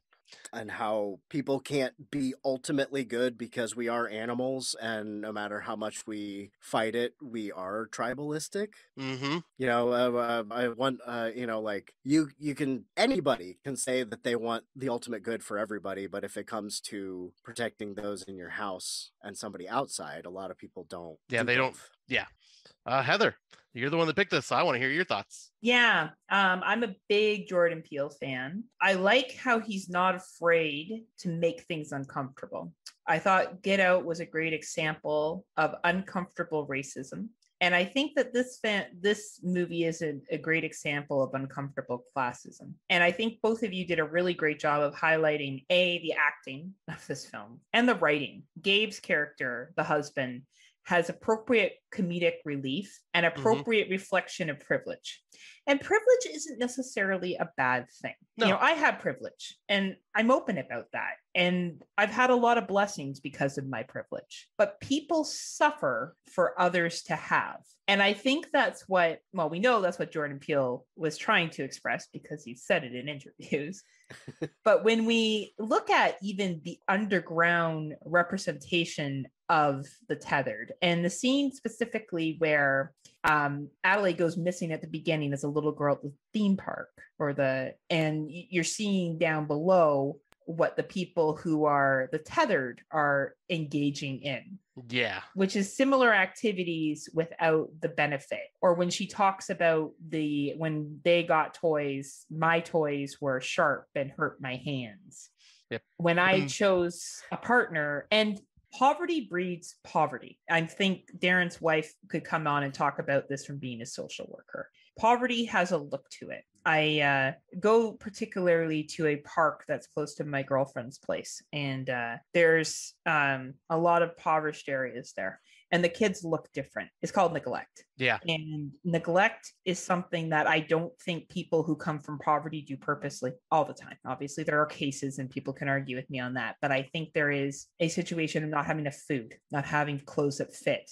not having the hygiene, not having the language. One of the biggest things that people have is that ability to make small talk. And Adelaide is the, the white woman is trying to make small talk with her. That's something that we did the moment we got on this podcast. Daeron's like, oh man, it's hot. That's small talk, right? Like Daeron Yeah. and me and Scott have been raised in families where we've learned how to do small talk. We're all white and we all get it.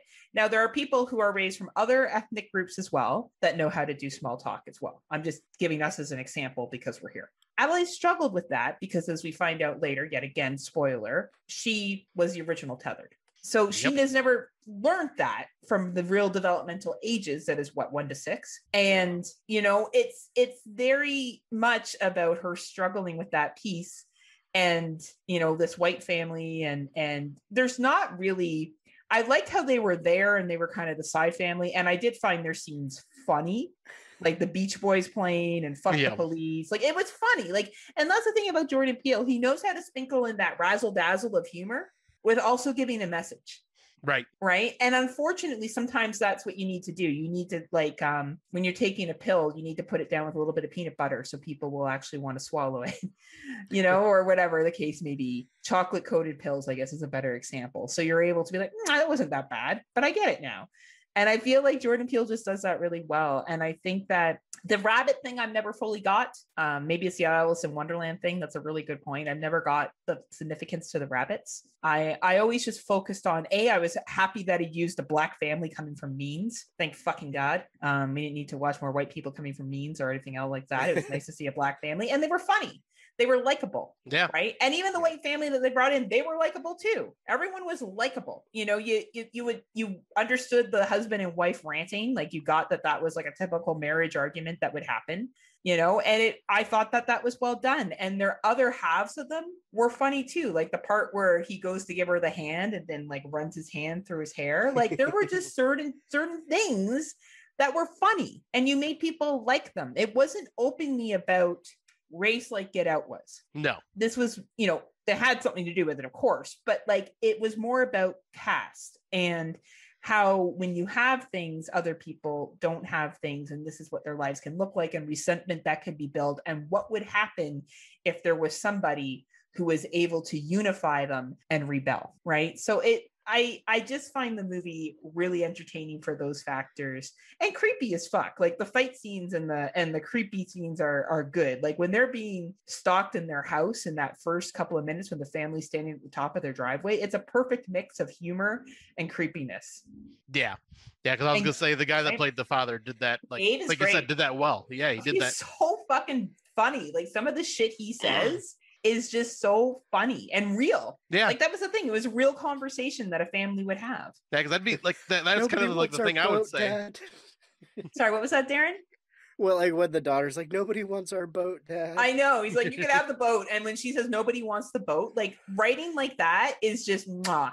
You know, like it's just fucking perfect timing of what would actually be said in that situation. It's like it's like kind of the concept of, of um so people under the stairs making it palatable because you're making it funny while giving a message as well. Yeah, Yeah, and that, like you said, that's what Jordan Peele's great at. He's great at delivering the message, giving you the scares, and like saying how it is. But just like with his leaning of into comedy, like he does, and just sprinkling the humor in. Like even with Get Out, like the like the stuff that there's like the white folk are saying, like about like they're being racist, but the way they're saying it's kind of funny because it's just like the dumb white guy that doesn't know what he's talking about, like. Oh, I wo- I would have voted for Obama for a third time if it was possible, and stuff like that. Like Yeah. it's like yeah it's just the way that he writes dialogue it's real it's funny and it's like also serious at the same time And the and the and the like the filming of the dancing at the end, like fuck that scene is so good. yeah like it's just such a well-made film and i know that it came out the same year that midsommar did and i believe like there's i've heard some rumblings that they're up against each other in summer series is that accurate daeron Um, I see. Somewhere I will look. I've got the master list that is public knowledge. It's not in any of my years, but we do have the list of all of the nominees. So Because as we I- talk, I will look. because i think those are two very different films yeah right and i think that they both play on issues that are very relevant and the acting in them is both incredible and the writing is incredible and the direction is incredible and i think it really does come down to uh, which politics are you more behind? Yeah. and which issues are you more behind personally? Um, and i'm not a huge midsommar fan. Uh, i respect the film quite a bit. I it won my top director on Slumber party massacre because i think you know you need to give dues where they're due. Yeah. Right? And but it's not my preference us would be uh, but that's also because it speaks more the heather language and what i care about more personally myself right? So. Yep where midsommar for me like would probably be mine because of just how how it hits me because under i understand like how realistic they portrayed anxiety and mhm. like emotions. Absolutely right? I look forward to seeing jordan Peele's. well now he's a producer on candyman but i'm sure he had some kind of creativity input as a producer uh so it'll be interesting to see that product that he's kind of part of come out but i look forward to more films by him. I think us is a film that uh is entertaining to watch and also has a little bit of a message to it. And what did we think about the ending with the hands across america the tethered? I was I was gonna bring that up when we were talking about the hands across America. Like I think showing the tethered do it is showing like uh they like the like I, I almost want to say it's almost like uh Jordan Peele like hinting at like like oh no scott scott got lost Uh oh. They Bye, got to him. They got to him. Now Scott can't. Scott's tethered came and took him. Scott, no. Oh, Oh, wait, oh, he's wait. back. Is it Scott There or is, is. it? It's it's tethered. Which Scott is it? I don't Go. There once was a movie called Gremlins, and Heather didn't want to listen to it anymore. Anyway, But they forgot about Gremlins 2. Jordan Peele did a skit with that. do you remember what you were gonna say? what was that though, Heather? do you remember what you were gonna say? Uh, I think it was about uh Hands Across America. Like I think what it was with Jordan Peele saying like the invaders like almost showed like the invaders showed unity where it shows in Americans since the Hands Across America failed miserably that we could not unite. It's almost kind of what I was thinking like others can unite where our country seems to always be divided. Interesting. I, I that's a great interpretation. Yeah, like that's the only like, like I don't know if there was actually that was meant to be anything or not, but that's kind of something I seen. Interesting. Anything you want to Oh. add, Daeron, before we I move to our out of the dark? I would like to add that I am looking at the nominees for 2019, and if this list, which was a document posted to the group, so it should be the master list, Us is not on it. Really? Yeah, Midsommar Wow. is. Uh, yeah. Hmm. Huh. I guess we're gonna have to send the tethered after summer series. Just kidding. Who- who- They are. It would have been. have It would have been on if I was on that year. I'll- Thanks, I'll add it. Daeron. That's what I would add. Thanks, Daeron. Awesome. Well, people are allowed to have their opinion. Scott likes Midsommar Exactly. more than than I do, so you know. And Yeah, Scott I- I, sometimes am has not good one taste. of those. Sometimes. I am not one of those. Your opinion on liking this movie is wrong. I will just say, not for me. Yep, exactly. Right. Exactly how we do it. Exactly. Because Scott and I are classy, just like you, Daeron. Fucking right. Classy. So our out of the dark segment is each of us are going to bring a politically themed movie and provide a short spoiler-free review of the movie. So I can go if you guys want me to go first. Scott, if you want to go first. I wasn't going to make Daeron go first. We made him go first a lot. So oh, that's the that's the uh, curse of being the guest on our The show. Curse of the Guest. Yeah. curse. So it's getting it's getting me ready. It's getting me ready for the summer series. that's right. but I, I can go right now. Uh, I actually have my movie all pulled up. it's not Gremlins, right? How'd you know? Fuck my life. We'll Well, I find mean, a way. We'll find. I, I, I I'll know. I'll get you. We'll do the politics of the Gremlins franchise. I was gonna say, I mean, Gremlins 2 does have politics about consumerism. Okay, will you stop and just read what your movie is? um, the movie I ended up going with is one that I actually watched for the first time this year, uh, right around the time we did our Pets and Horror when I was doing the dive and watching all the different pets and horror films. And it's the uh, 1982 film White Dog. like- Oh. I just uh this one just had that like message like that just was heartbreaking as well because it's about this uh white dog like all white dog that was unfortunately trained to hate all black people and would attack them on sight and would try to kill them. And this uh woman ends up getting the dog and like it's the most friendliest dog in the world but like when as soon as it's seen like another black person it would become extremely aggressive and deadly so she ended up having to take it uh, like he almost gotten taken away from her. So she what she did is she ended up taking him to this uh, dog training facility where this uh, black man would pretty much like deal with this dog personally to try to untrain it of what it's been taught throughout its life.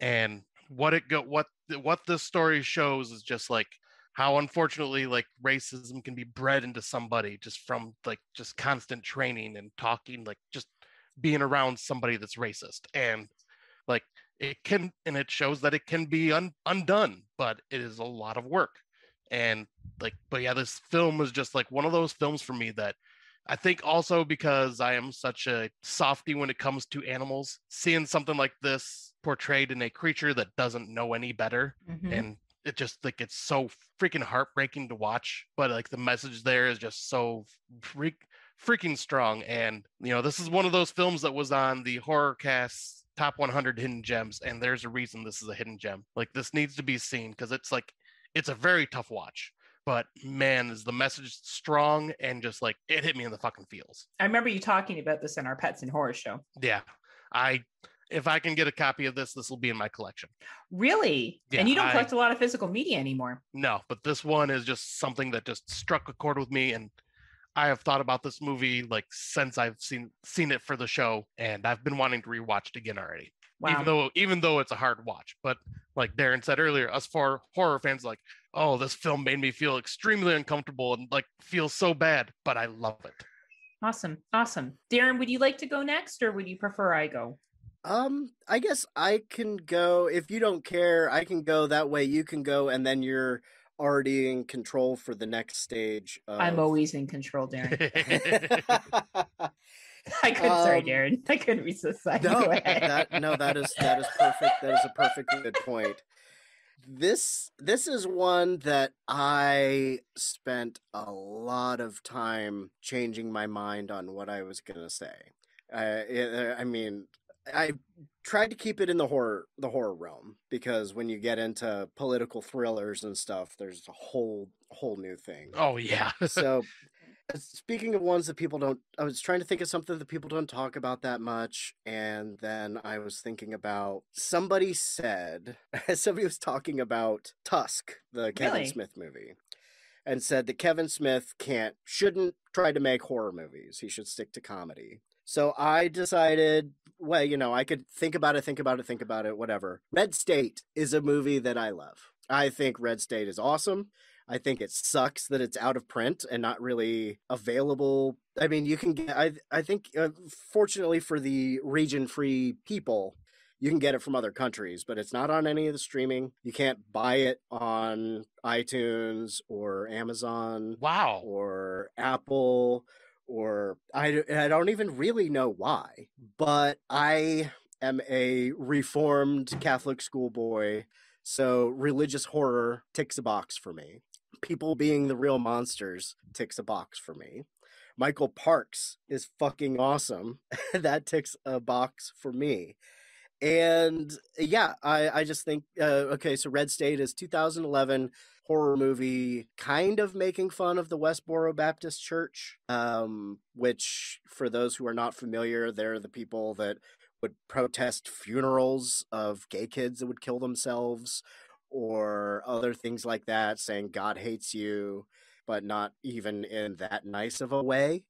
And it explores the idea of religious fanaticism and like we've talked about earlier a somebody thinking that they are being righteous by doing something worse to somebody than the thing that they're that they're being punished for and uh it takes place in america uh, it's young boy you said it uh, like a, the the basic rough review it's been a little while since i've seen it somebody stole my dvd of it so i didn't Aw. get to rewatch it before today um but you know michael parks john goodman is in it i love him in a movie and it just sort of explores what so uh, to an extreme the sorts of things that happen behind church doors and uh you know the how few things are I, I think i said this before how few things are as dangerous as a villain who thinks they're the hero Yeah. Yeah, for sure. Absolutely. It's a great movie. I, I was on Exploding Heads earlier this year and we covered Red State. Um, but- ah, okay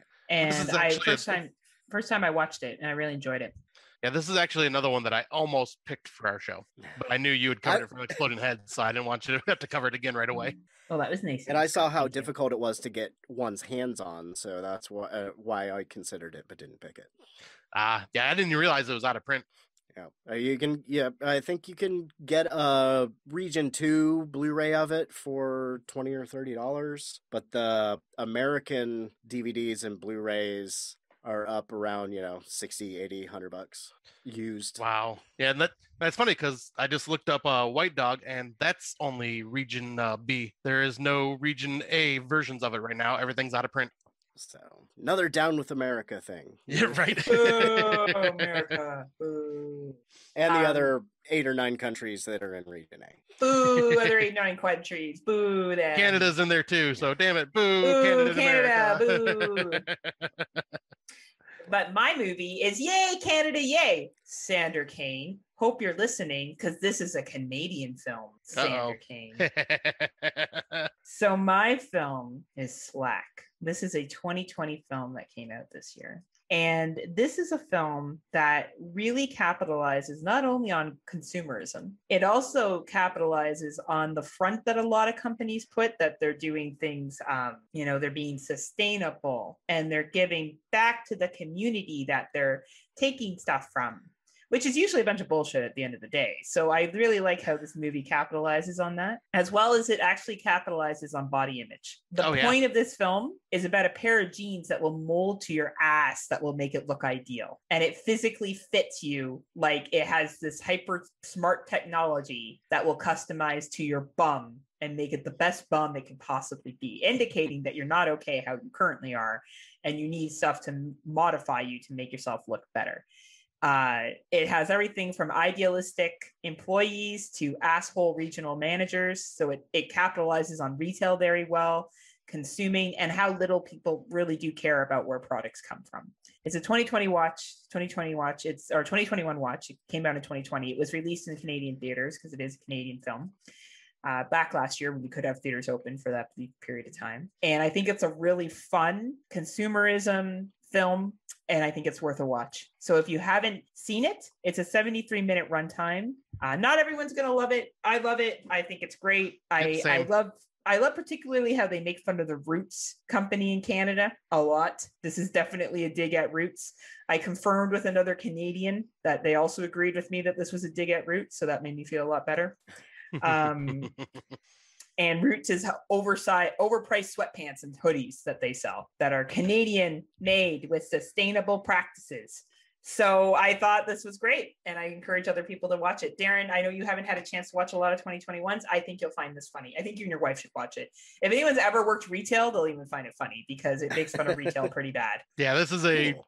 freaking hilarious and yeah. pretty gory movie too. yeah, the special effects are pretty decent too for what it is. I mean, for a movie about killer jeans. yeah, it's still entertaining as shit, and it's got a good message. Mm-hmm. Awesome, absolutely. And yeah, I guess that kind of brings us to our natural conclusion of our episode. So, Scott and I would like to very, very, very, very, very, very much thank Daeron for being here today. Daeron brought so much to our show, but Daeron also has supported us right from the beginning. And yes, Daeron, you have you have made me feel so welcome and so comfortable.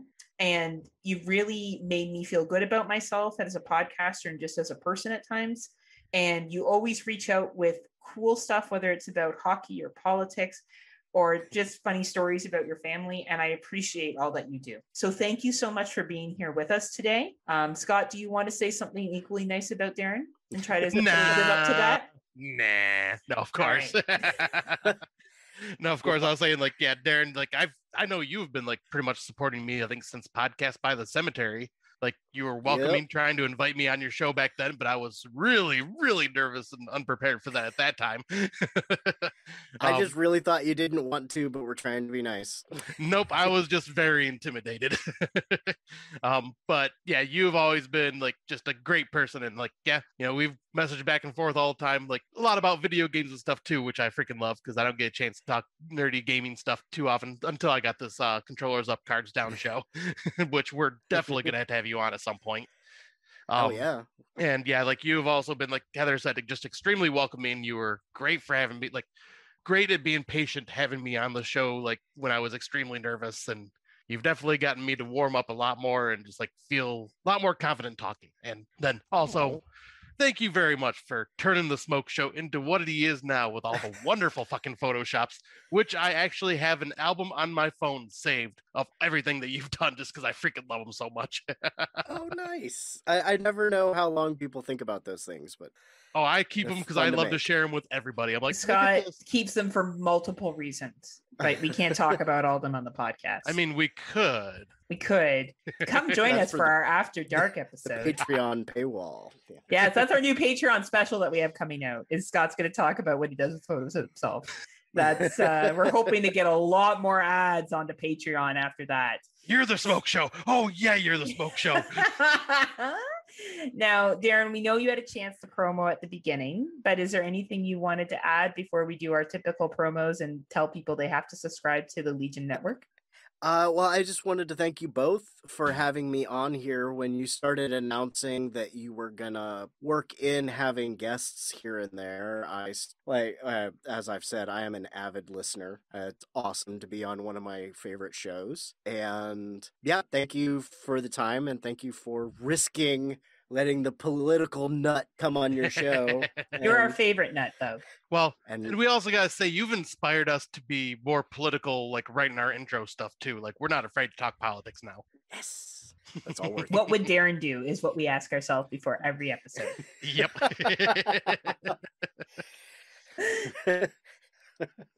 But thank well, you again, you. Daeron, for being here and for having an awesome podcast. Please check Daeron out on VD Clinic, Psychosemantic Podcast, Podcast Under the Stairs, and Summer, Summer series. series. which is under Podcast Under the Stairs, which is an independent that you can just find by searching like iTunes and stuff, right? Yeah, he's he's everywhere. He's everywhere. He is Duncan. He is his own legion. He is Legion. he is one where we are many. Um, so if you haven't done it already, head on over to the Legion podcast page and hit that subscribe button for one of your feeds of choice. Scott and I will be back in the saddle again for another Patreon special with the gentleman from the TGIF um, Friday Fan podcast. And we'll be talking about top five Canadian movies, Sander. Just letting you know. Xander. Oh, poor Xander. Um, that, I love Xander. Sa- I Xander is another one where if you ever want, he loves politics as well. We could have had him on this show easily, but also he has an insane knowledge of movies, like insane. Um, I strive to have the level of knowledge that he does one day, but I'll never get there, so I just won't try. Um, and then I don't even know what's our next episode, Scott. What are we doing? um, what was it? We, shit, we had something. very professional and prepared. Was it the beach one that we were going to do? Yes, yes, that's what it was. Beach. Beach. We're going to talk about Beach-themed going to the horror. beach. Yeah, because we had something else planned, but we pushed that back to closer to fall because it made more sense. Oh yes, yeah, something else planned. Ooh, I like how you're giving the tease there. Yeah. um, so please join Daeron, myself, and Scott at the Legion Podcast Network and become a patron. If not, like, what are you waiting for? Uh, there's some. what are you stuff- waiting for? There's some awesome stuff on the Patreon from uh, Cinema Psyops, as well as Bo Ramsel, as well as the Friday Nightmare podcast, and other of our Legion friends. So please come join us today. It's three dollars a month, and it's worth the monies. Agreed. Am I right, Scotty? Agreed. And I did a video. None of these two have done a video yet, so go join the YouTube channel for my video on the top five female protagonists from 2010 to 2020 because I thought Bo wanted us to do videos and I submitted one. So far, I'm the only one. So hopefully, someone else submits a video. well, point. either way, the video was fucking awesome. So you did a great job. You're right. I did it for Scott and I. Everything I do is actually on behalf of Scott. Well, no, I, I'm I- not saying that. I just, I know you're not. I'm teasing you, Scotty. Though it is, in all fairness, it is. Because if Scott did a video, it would just be his top five characters from Gremlins. You know what? You should do that, Scott. You know how many people fucking love your Gremlins shit? You should Mm. do top five Yeah. characters from Gremlins. That's not a bad idea. like, it's a good idea. It's something different. yeah, that I like that. Hmm. See? I will have to. I'll have to think on this. See? oh, it's, It's gonna take him a month to get it straight. Right? He's like, I just don't know between the two movies. It's just so challenging. Got to go back to the tape. Gotta rewatch them Alright. over and over again. Like, until I get my list my eyes. Fuck summer series. Scott needs to watch Gremlins and Gremlins 2 15 times this summer. Damn right I do. Here's how And- Mike from Breaking Bad is the same guy that's the cop in Gremlins. He had to leave the town in shame and become. That's awesome. That's Oh, I awesome. love it. Until next time, what do you say to the good people, Scotty? well, until next time, would you like to join us for the shunting? Unpleasant dreams. Of all the movies, that's the one you chose. all right, bye.